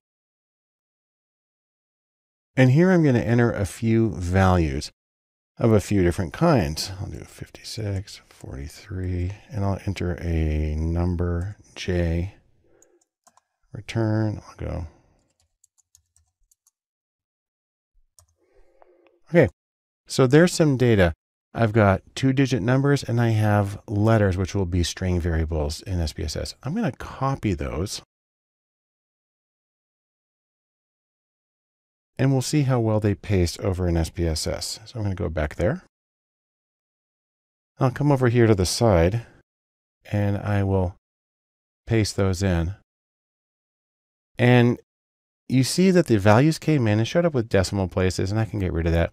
But it's really weird with the string variable with the letters. And so you can copy it. Notice also I, I can't copy in variable names. I still have to enter those manually. You can deal with those when you import, but really, this is a demonstration that putting stuff manually in SPSS, it's not a good environment for that. Use a spreadsheet, use Google Sheet, use numbers, use Excel, anything. Enter it there and then import it. I'll show you that in the next section and you'll see that it's a much, much easier process. The last thing I want to say in SPSS about accessing data is about importing data. And you know, Compared to entering it manually, it just makes me feel like this and I resort to cheesy clip art to show how happy I am. Because no doubt about it, importing is absolutely the best way to go if you want to get data into SPSS. Now, the nice thing is SPSS can open text files, it can open CSV or comma separated value files, and even XLSX, that's Excel files, as long as they're formatted right. Now, what do I mean by formatted right? There's a term from Hadley Wickham in the R developer community, tidy data, and it's referring to something very specific. It says that your file should have only one sheet, so that's one worksheet, even though Excel can take more than that. That each column should be exactly equal to one variable, and that each row should be equal to one case. And an important thing is no funny stuff in your Excel sheet because Excel is very flexible. And when I refer to funny stuff, I'm talking about things like macros and formulas and graphs and formatting and comments or merge cells or headers taking up their own rows or duplicating row numbers. You don't want any of that. Basically, you want to treat it like a CSV file. And if you do that, then you find you can import it very easily into SPSS. And in fact, let me show you how this works. We're going to try this in SPSS, but I want you to do two things. First, I want you to download the course files, and that will include a zipped folder by this name that ends with datasets. That's going to have three files inside it. I'll show you those in just a second. And then you can also open up this syntax file that will work with them. But let's go to see what's inside the folder and explain a little bit what's going to happen here. The folder that I've asked you to download contains three different files. Now, I have both the folder here and I have the three files saved separately next to it, but normally they would be inside it. But for the syntax to work properly, you want them sitting separately on the desktop. All three of them contain the same data. It says MBB, which stands for Mozart, Beethoven, and Bach, because this is Google Trends data about the popularity of search for each of these three composers' names since 2004. This first one is in CSV or comma separated value format. The second one is a plain text file and it's tab separated. And the third one is an XLSX file, so it's an Excel sheet. And you can see it's the same number, but it appears a little bit differently when I do the quick view here on my Macintosh. What we're going to do then is open up the syntax file and we're going to see what we need to do to import each of these. Now, I've saved the syntax, but the fact is it's easier to do this stuff through the menus. Now, I give some information here about using the file path. In each of these syntax commands, I have to specify the file location. Now, this is the format if you're on a Macintosh like I am. Of course, you'll want to change BART to be the name of your home directory. If you're on a Windows computer, you're going to need to change it to something a little more like this, or possibly depending on the version of your operating system, using backslashes instead. Anyhow, I'm going to show you how to import each of these. And I've got the duplicate information here in the script in case you want to run it that way, but it's actually really easy to do it from the menus. So here's what I'm going to do. I'm going to come up to my data window. I'll just click over to that. And my data window is empty right now. I'm going to go to File, Open, and Data. You do that if you're opening an existing SPS file or if you're importing something in a different format. Now here I'm on the desktop. You can see my folder there, but you can't see the three data files I have next to it because right now it's only going to display files that are in the dot .sav. That's the SPSS proprietary data format. I'm going to click on that and come way down here and we'll start with the text file, the TXT version. So I'm going to hit that and now you can see that it's there. I'll select that file and I'll click open.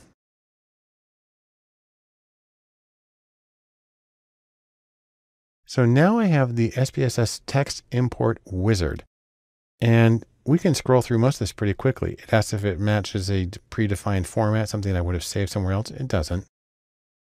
It asks if they're delimited. Yes, they're delimited by tabs in this case. Are the variables included at the top of the file? You see how they show up here as the first row? Well, I click yes, and now it excludes those because it knows that those need to be the in the header of the data file. Hit continue. Each line represents a case. I want all of the cases. You could sample from it if you had a very large data set, and it would allow you to do exploratory analyses more quickly than you could otherwise. It asks what delimiters appear. Now, by default, a text file, the one that I have, uses tabs, and it knows that. It asks about text qualifiers. I don't have text qualifiers in here, so I just hit continue. Don't have to change anything. Now, I have dates here at the beginning, and they are year dash month. Now, SPSS can handle dates. However, it doesn't like the fact that I'm using year and month without the day associated with it. Consequently, I'm going to leave it just as a string variable, as a text variable, and it still works properly in any analyses I want to do. So that's fine. I'm just going to hit continue. Not changing anything here. It asks if I'd like to save the file format for future use. That's the thing it was referring to in the first dialog here and asked if I want to paste the syntax. I could do that, but I've already got it pasted. I'm just going to hit done.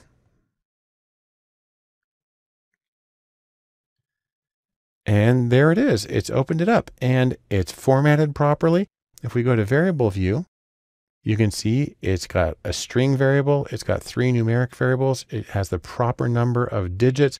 It has the proper number of no decimal places and it recognizes them as nominal, which actually is not the case. So I actually need to come here and change that to a scaled variable because the data that you get from Google Trends is sort of zero to one percentages in terms of relative popularity of search terms. So I change that to scale and otherwise I'm good to go. Now let's do the same thing, but with a CSV file. To do that, I'm just going to get rid of this data file. I'll just open up a new one. There we go. I'll come back up to the file and open to data. This time I need to tell I'm looking for a CSV, but if you remember, it, that's actually under text. So I click here and except this time instead of selecting the .txt file, I'll select the .csv file. And what you find is that the procedure is almost identical. There's only one super tiny change here. I hit continue. I tell it the variable names are at the top. It is delimited. It needs to know that each line's a case. I just hit continue on all of this. Here's the one difference. When I did the text file, tab was automatically selected. Now that I'm doing a CSV, which means comma separated values, comma is automatically selected. I hit continue. It does the same thing with month. We're going to leave it as string. I hit continue and I can hit done.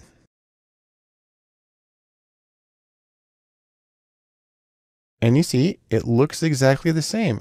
I do have the same issue though, that these three numbers, which go from zero to 100 are coded as nominal. I need to change them manually to scale.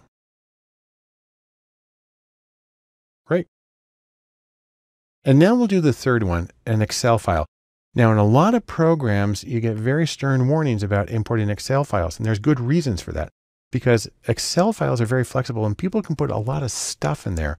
Again, comments and changing column widths and merging cells that make it easy to use Excel just for displaying information. But if you're importing, you don't want to do that.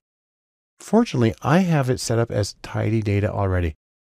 Columns are the same as variables. Rows are the same as cases. There's nothing else in there. And so what I can do in this case is come to File, Open. We'll go to Data again.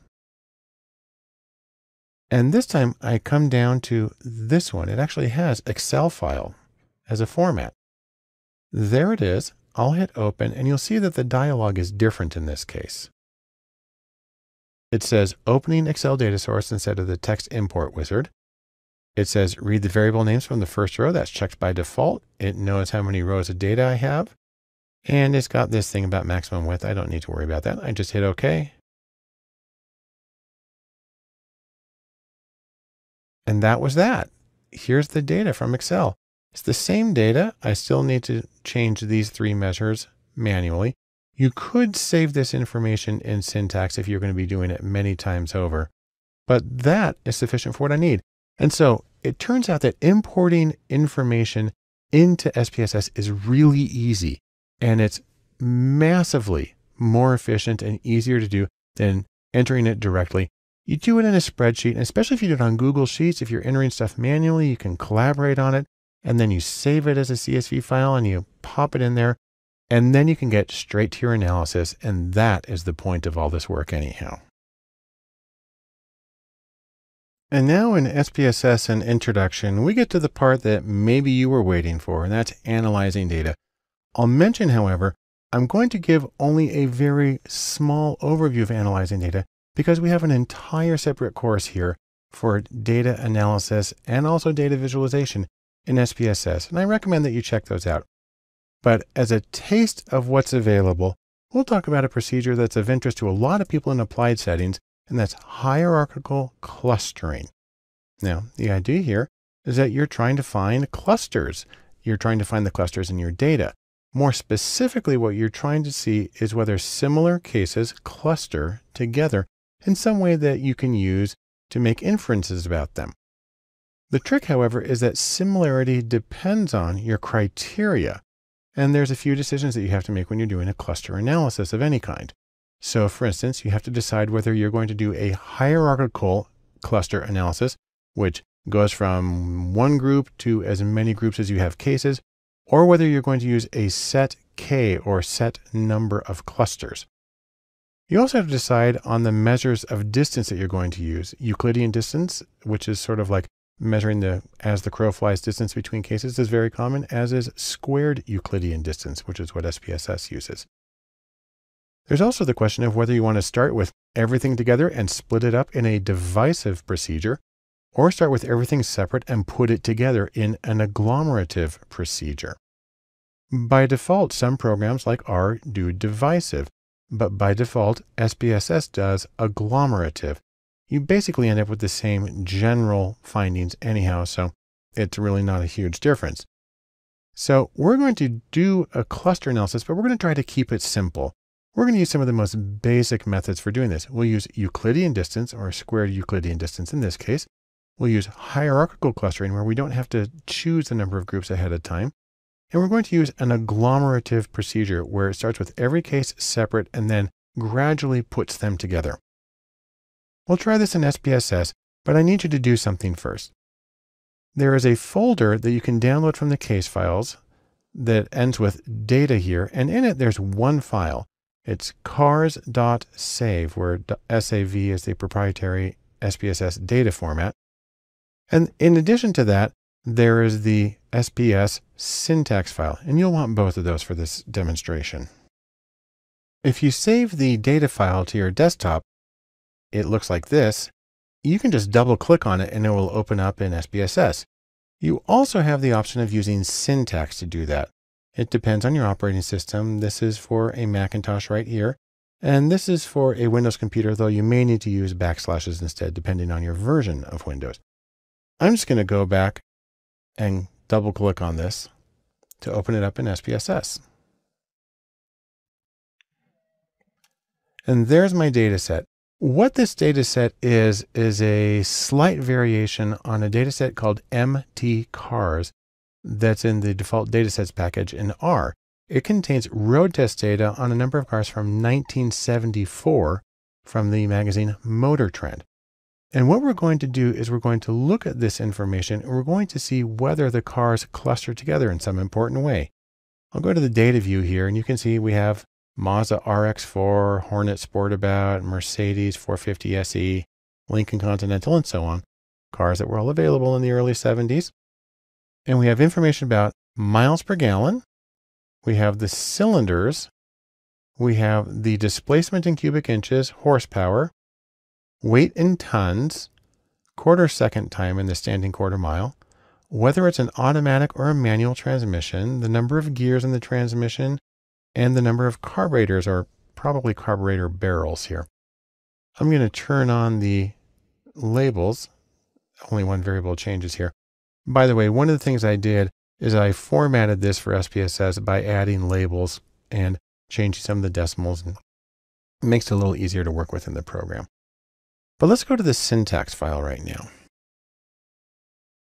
Once we have the data open, we want to do a default hierarchical clustering.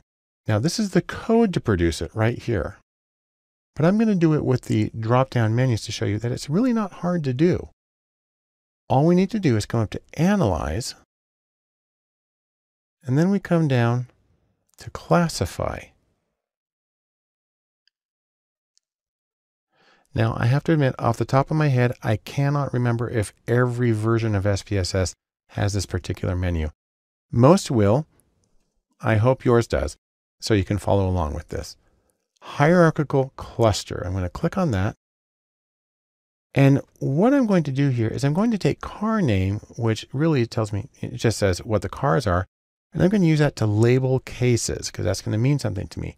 And I'm going to take all of my other variables, I'll just do a little shift click here and put them over here. And at this moment, I'm going to change nothing else. You'll see that it's going to cluster cases. That's what we want. It's going to give us both some statistics and some plots. That's fine. I'm going to hit OK, and we're going to get a result identical to my first syntax command.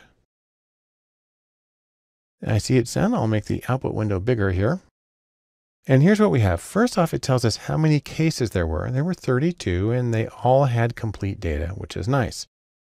Then SPSS gives us something kind of unusual called an agglomeration schedule. And it really specifies at what point in the procedure did two cases get put into the same cluster. I personally don't have much use for this, except I know that when there is a big jump in the coefficients, as there is here from 3 to 26, you know that there is a very distinct category change as there is from 660 to 1125 and so on. Most of the time though, I would just completely ignore this one. And this this is called an icicle plot and it shows sort of the same information about when various cases got dropped in with everything else. It's kind of pretty to look at. I find it kind of meaningless. And so truthfully, the default output for SPSS's hierarchical clustering to me is not very helpful. In fact, it's so unhelpful, I'm just going to delete it all. And I'm going to do this over again. I'm going to come back up to my recent menu items, and I'm going to go to this analysis again. I'm going to make a couple of changes. I don't want the agglomeration schedule. That doesn't really help me. And for plots, I'm going to get rid of the icicle plot and I'm going to get a dendrogram instead.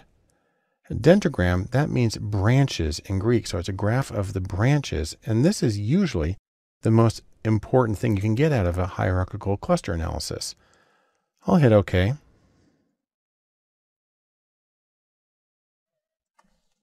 And now what we have is a chart here that lists all the cases, the cars on the side, and it shows how they group together.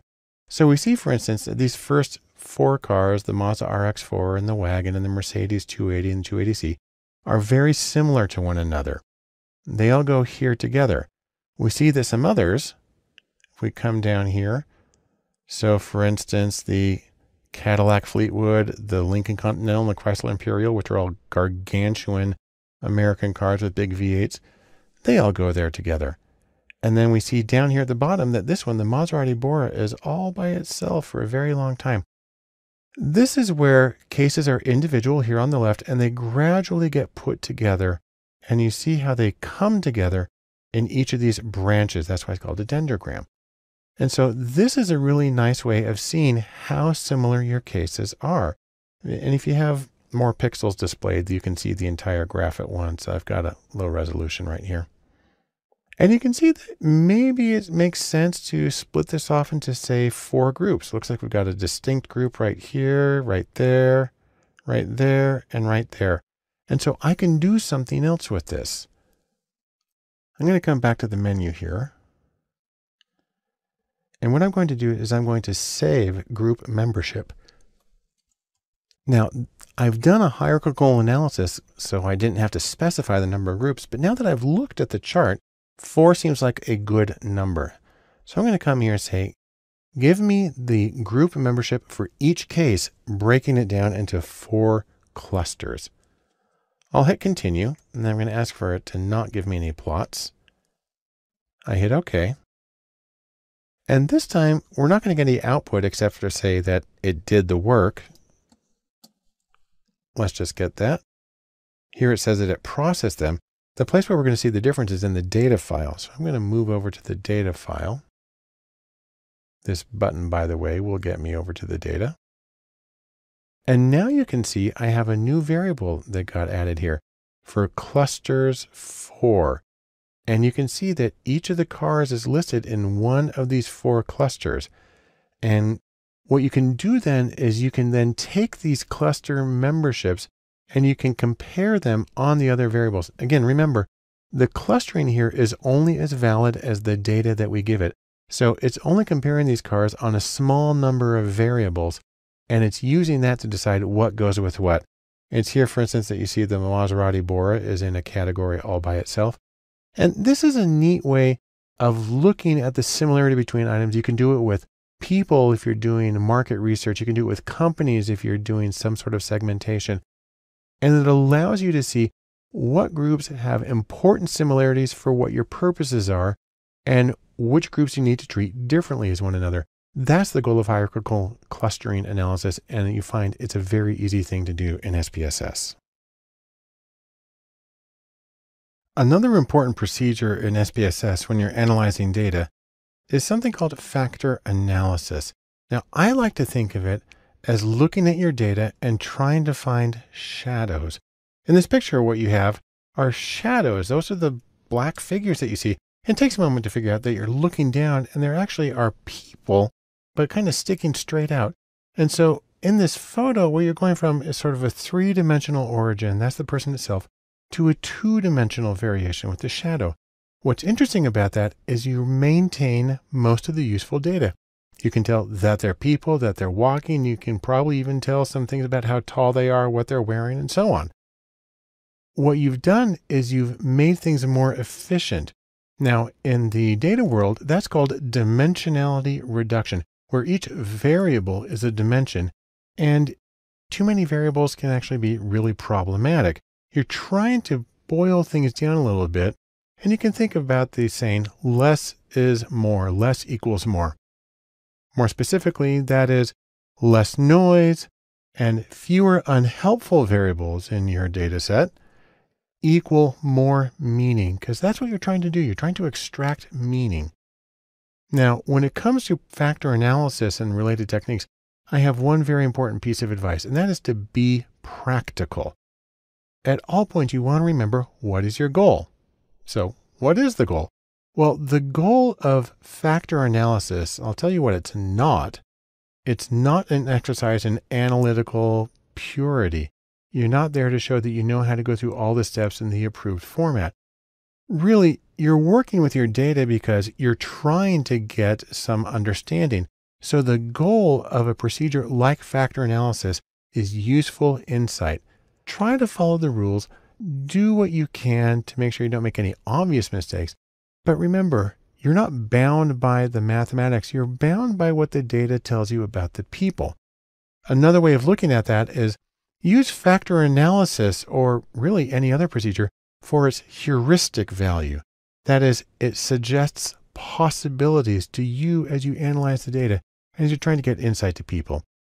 Now, that's sort of a philosophical discursion.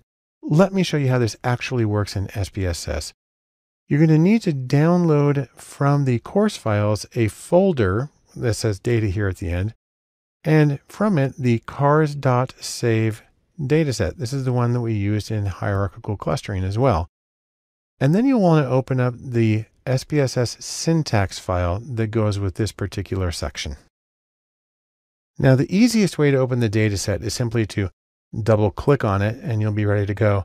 I do have some syntax you can use if you've saved it to your desktop. I've got it open already. So let's take a quick look at the dataset. We have a collection of cars listed down the side and attributes like miles per gallon and so on, and gears and the transmission and carburetors. That's great. Now, I will have to make a very important confession here. This is a very, very small data set for factor analysis. It only has nine variables other than the identifier, and it only has 32 cases. Really, you would want to have at least several hundred cases and let's say several dozen variables before you can do this really reliably. But this example works and it, it actually is really easy to see how it's happening and how to interpret the results. The first thing we're going to do, if you look at the syntax, is we're going to do a default factor analysis. And it's actually a misnomer because it's not a factor analysis. It's principal components analysis, but it's in the factor analysis command within SPSS. So let's come up here to analyze and down to dimension reduction. Remember I said that's what this is called. We'll pick factor. It's our only choice there. And what we need to do is choose the variables that we're going to use to see what we can compress, what goes into what. So we don't need the name of the car. That's just an identifier. We can take the rest of these, however, and we can put them under variables. Now, we've got a lot of options here. I'm not going to do any of them. I'm just going to hit OK for right now. I'll make the output window bigger. And here's what we get from the default analysis. We get a text output of the commands that were generated by the drop-down menus. We get something called communalities. Each variable brings with it one unit of standardized variance. That's based on how spread out the scores are. And if you standardize them, then you have a variance and a standard deviation of one for each. And the extraction tells us how much of that variance is really able to get constituted through the process that we're doing.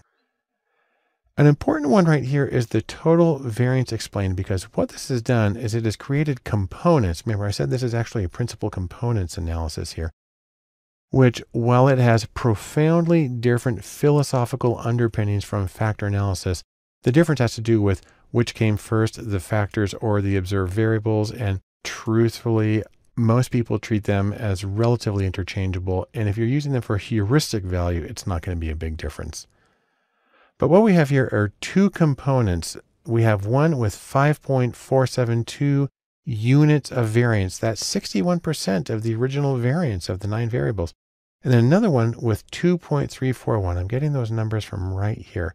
And you can see it held on to these two, which collectively add up to about 87% of the variance. Now, the component matrix shows the relationship between the original variables and the two components. These are like correlation coefficients. You can see that miles per gallon is strongly negatively associated with the first component and really not associated with the second, but number of carburetors has a pretty strong association with each. And so that's a way to start to look at it. But it's going to be a lot easier if we do certain modifications to this. In fact, I'm going to just delete this output right here. And we're going to start over. I'm going to make a few changes. Let's go through each of these options. First, we go to descriptives, and I don't really feel like I need the initial solution, so I'm going to unselect that. I'll hit continue. Extraction. This is the actual algorithm that SPSS uses to work through the relationships in the multidimensional space. You'll see right here, it's principal components. That's why I said this is really a principal components analysis. You've got a lot of options here. Now, in many situations, maximum likelihood would be a very good answer. I'm going to choose principal axis factoring simply because it's the classical version of factor analysis. I don't need to see the unrotated factor solution, but I do want to see something called a scree plot. And that is a graph that shows me maybe how many factors I should keep. I'm going to come down here and change the maximum iterations for convergence. That has to do with the math that's done. I'm going to change it to 50. Then I'm going to come to rotation. What you get here is a multidimensional space, and sometimes it's a little easier if you rotate the axes. It can increase interpretability. Now, there are a lot of different methods. Varimax is a method that maintains orthogonal relationships that makes all of your axes perpendicular to each other. There are situations where that's really good, but truthfully, for exploratory purposes, which is what we're doing, I like to use what's called an oblique rotation. That allows your factors to be correlated with each other. They don't have to be totally perpendicular. I'm going to use direct Oblimin. Promax is another really good choice, but it usually is for larger data sets, and I've got a tiny one here. Now here I can get a rotated solution. I don't think I really need that, but I do want to see the loading plot. And I'm going to increase the maximum number of iterations to 50.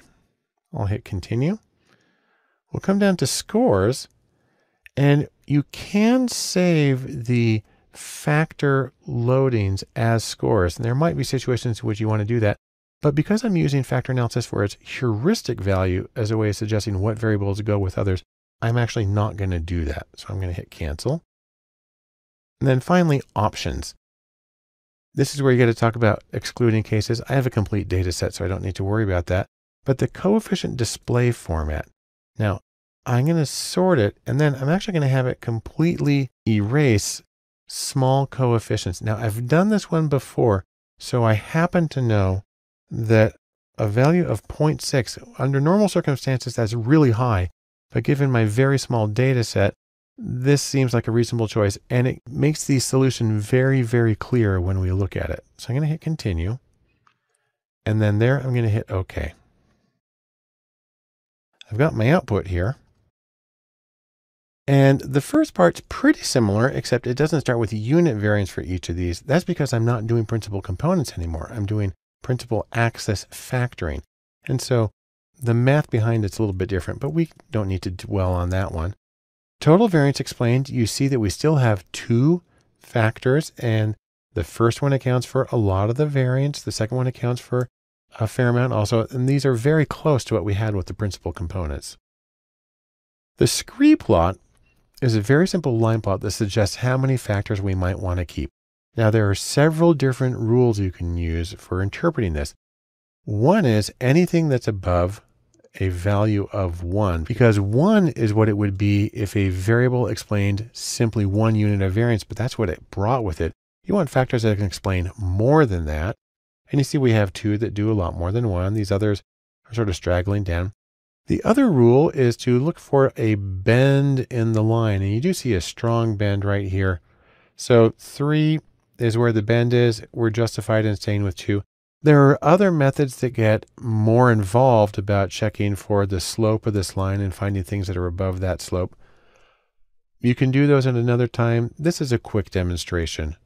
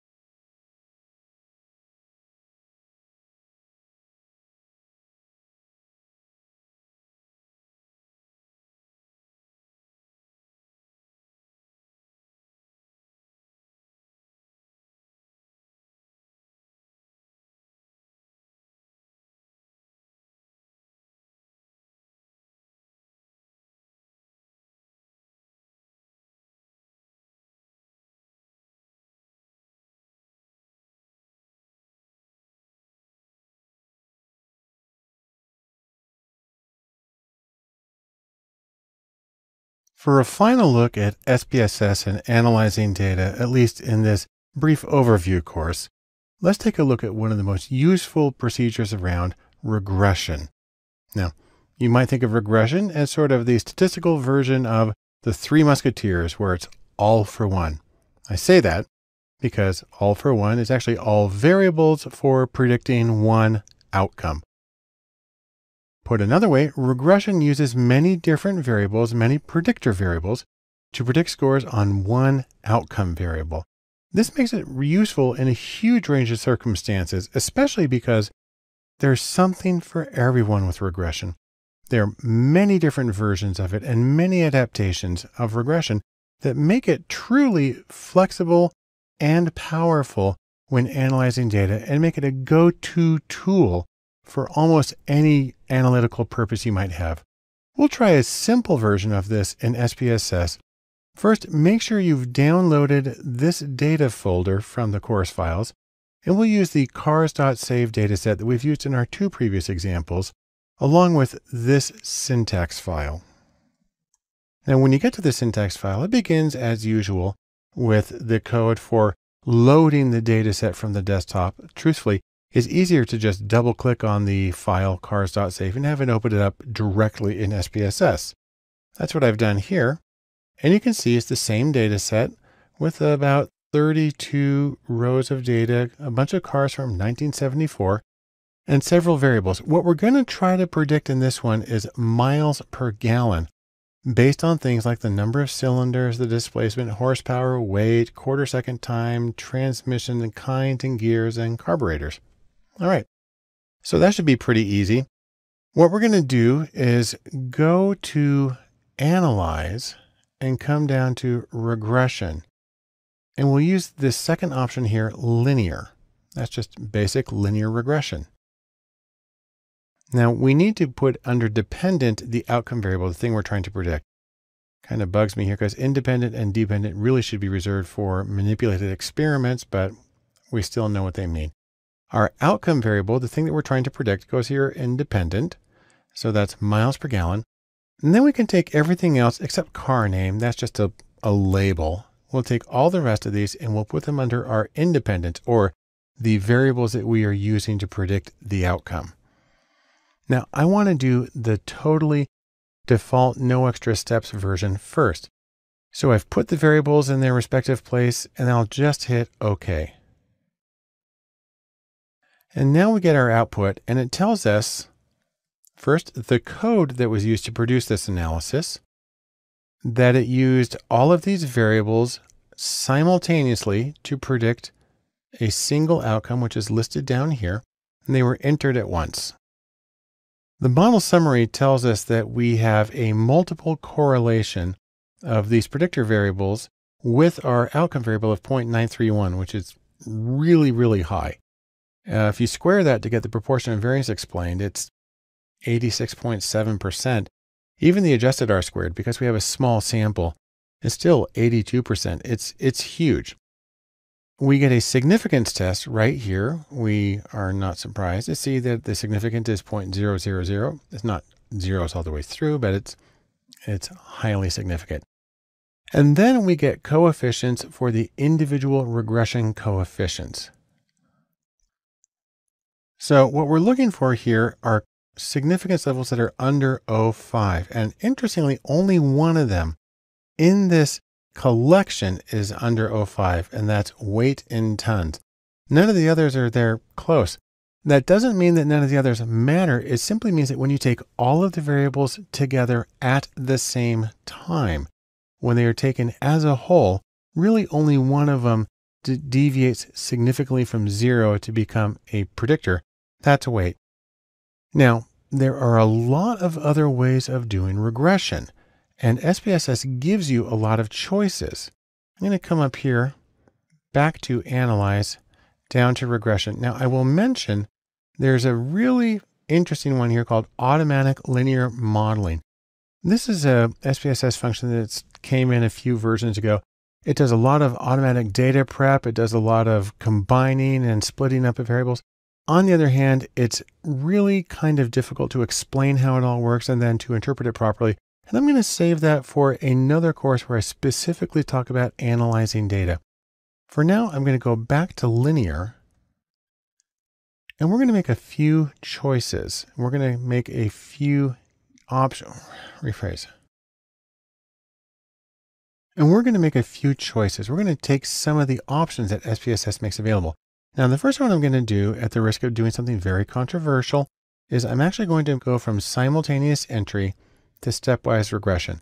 This is controversial because some people in the literature have called it positively diabolic in its risk of a type 1 or false positive error, and there's good evidence for that. On the other hand, in modern machine learning, stepwise procedures have been very fruitfully used. And so it's not totally unacceptable to try it, especially when we're doing sort of an exploratory project like this right now. You certainly wouldn't want to use it for rigorous model building, but it's a nice way to get some insight into the data pretty quickly. I'll come up to statistics and I'm going to add a few things. I'm going to get confidence intervals for the coefficients. Those are nice to have. We have the overall model fit and I'm going to get the R squared change because a stepwise model goes through several different steps adding variables and we want to see if each variable adds something that is statistically significant to the overall model. We could get a lot more information here, but I'll leave it there for now. Under plots, we can get a ton of different plots, but I'm actually just going to come down here and choose the standardized residual plots, a histogram and a normal probability plot. Now there are other options as well. I could save about 15 different kinds of scores to the data set. I can save unstandardized predicted values. I can save studentized deleted residuals, and so on and so forth. Things I could do here, and there are situations in which I might want to do those, but for right now, I'm going to skip them because I'm simply trying to build a model without necessarily saving all of the steps in between. Options really just talks about the criteria used in the stepwise procedure. I'm going to leave it at the default right now, but you could change it if you wanted to. And then style is a new thing that has to do with the formatting of the table. I'm going to leave that one alone for right now because we're going to have exactly what we need. Now I've created this already and I've saved it in the syntax. So I'm just going to hit OK. And you'll see that we get a different kind of output right now. I'll zoom in on this. Now what we have is some code that's a little bit longer that says to go through the variables one at a time and find the predictor variable that is most strongly associated with the outcome, put it in the model, get partial correlations and, and go through step after step. What we find here is that although we had nine predictors originally, only two of them were statistically significant when put into the model. They were weight and number of cylinders. Again, what we're trying to predict is gas mileage, miles per gallon. And if you come down here, you can see that they were both statistically significant, where the adjusted R squared for just weight is 74.5. And when you add on number of cylinders, it goes up, not a huge amount, but it goes up almost 8%. The analysis of variance table lets us know that both of these models with just one variable and with two predictor variables, they're both statistically significant. Here are the individual coefficients along with their confidence intervals over here on the right side. Now, because we've gone through a stepwise procedure, it's not surprising that all of these are statistically significant because that was the criterion used for including them. Here we have a list of excluded variables along with their collinearity statistics. And this has to do with how much each of these variables is correlated with the others. So for instance, number of carburetors is highly collinear or easily predicted by the other variables that we could have included in the model. And then we come down to the residuals. I'm going to look specifically at the charts. In an ideal world, your residuals are normally distributed, which means they're just as likely to be high as they are low and they're symmetrical. And we see here that they're not horribly pathologically far from normal. So this is probably a good model in this set. And here is a normal PP probability probability plot of the same data. And if it were perfectly normal, all the dots would be on the line, the diagonal line. They're close. These are the 32 individual observations and how far off they are.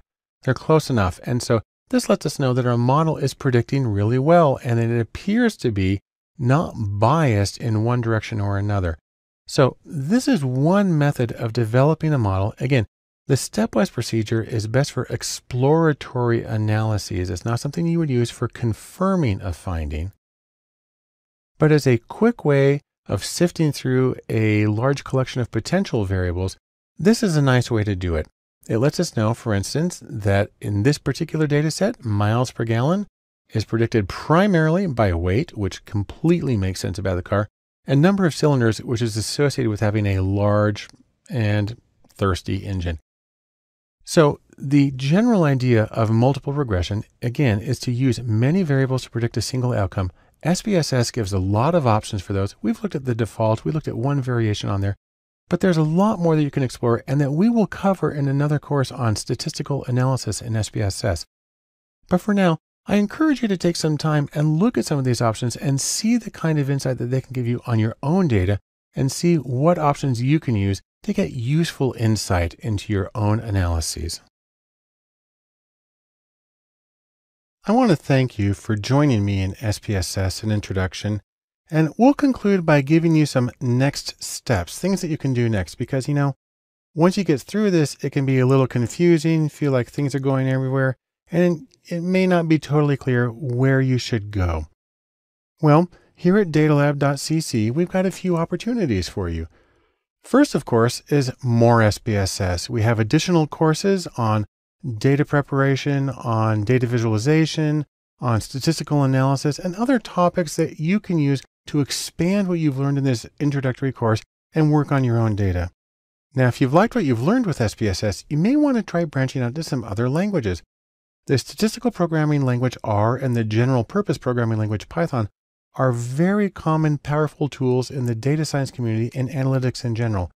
They're a great way to expand both the things that you can do with your analyses and your employment opportunities. And so I strongly encourage you to take a look at the courses on R and Python at DataLab.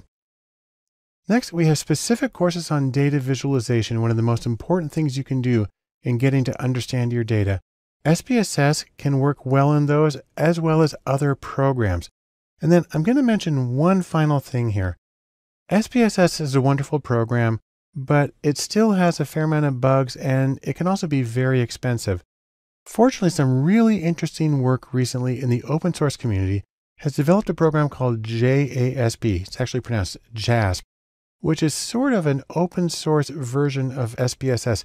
It runs very differently. I find it very easy to use and it makes it reproducible. It makes it easy to share. It's got some tremendous advantages, and we have courses on JASP here at DataLab. I suggest you check those out and see how well that program is able to fulfill some of your computing needs. That being said, there are some things missing. What's missing exactly?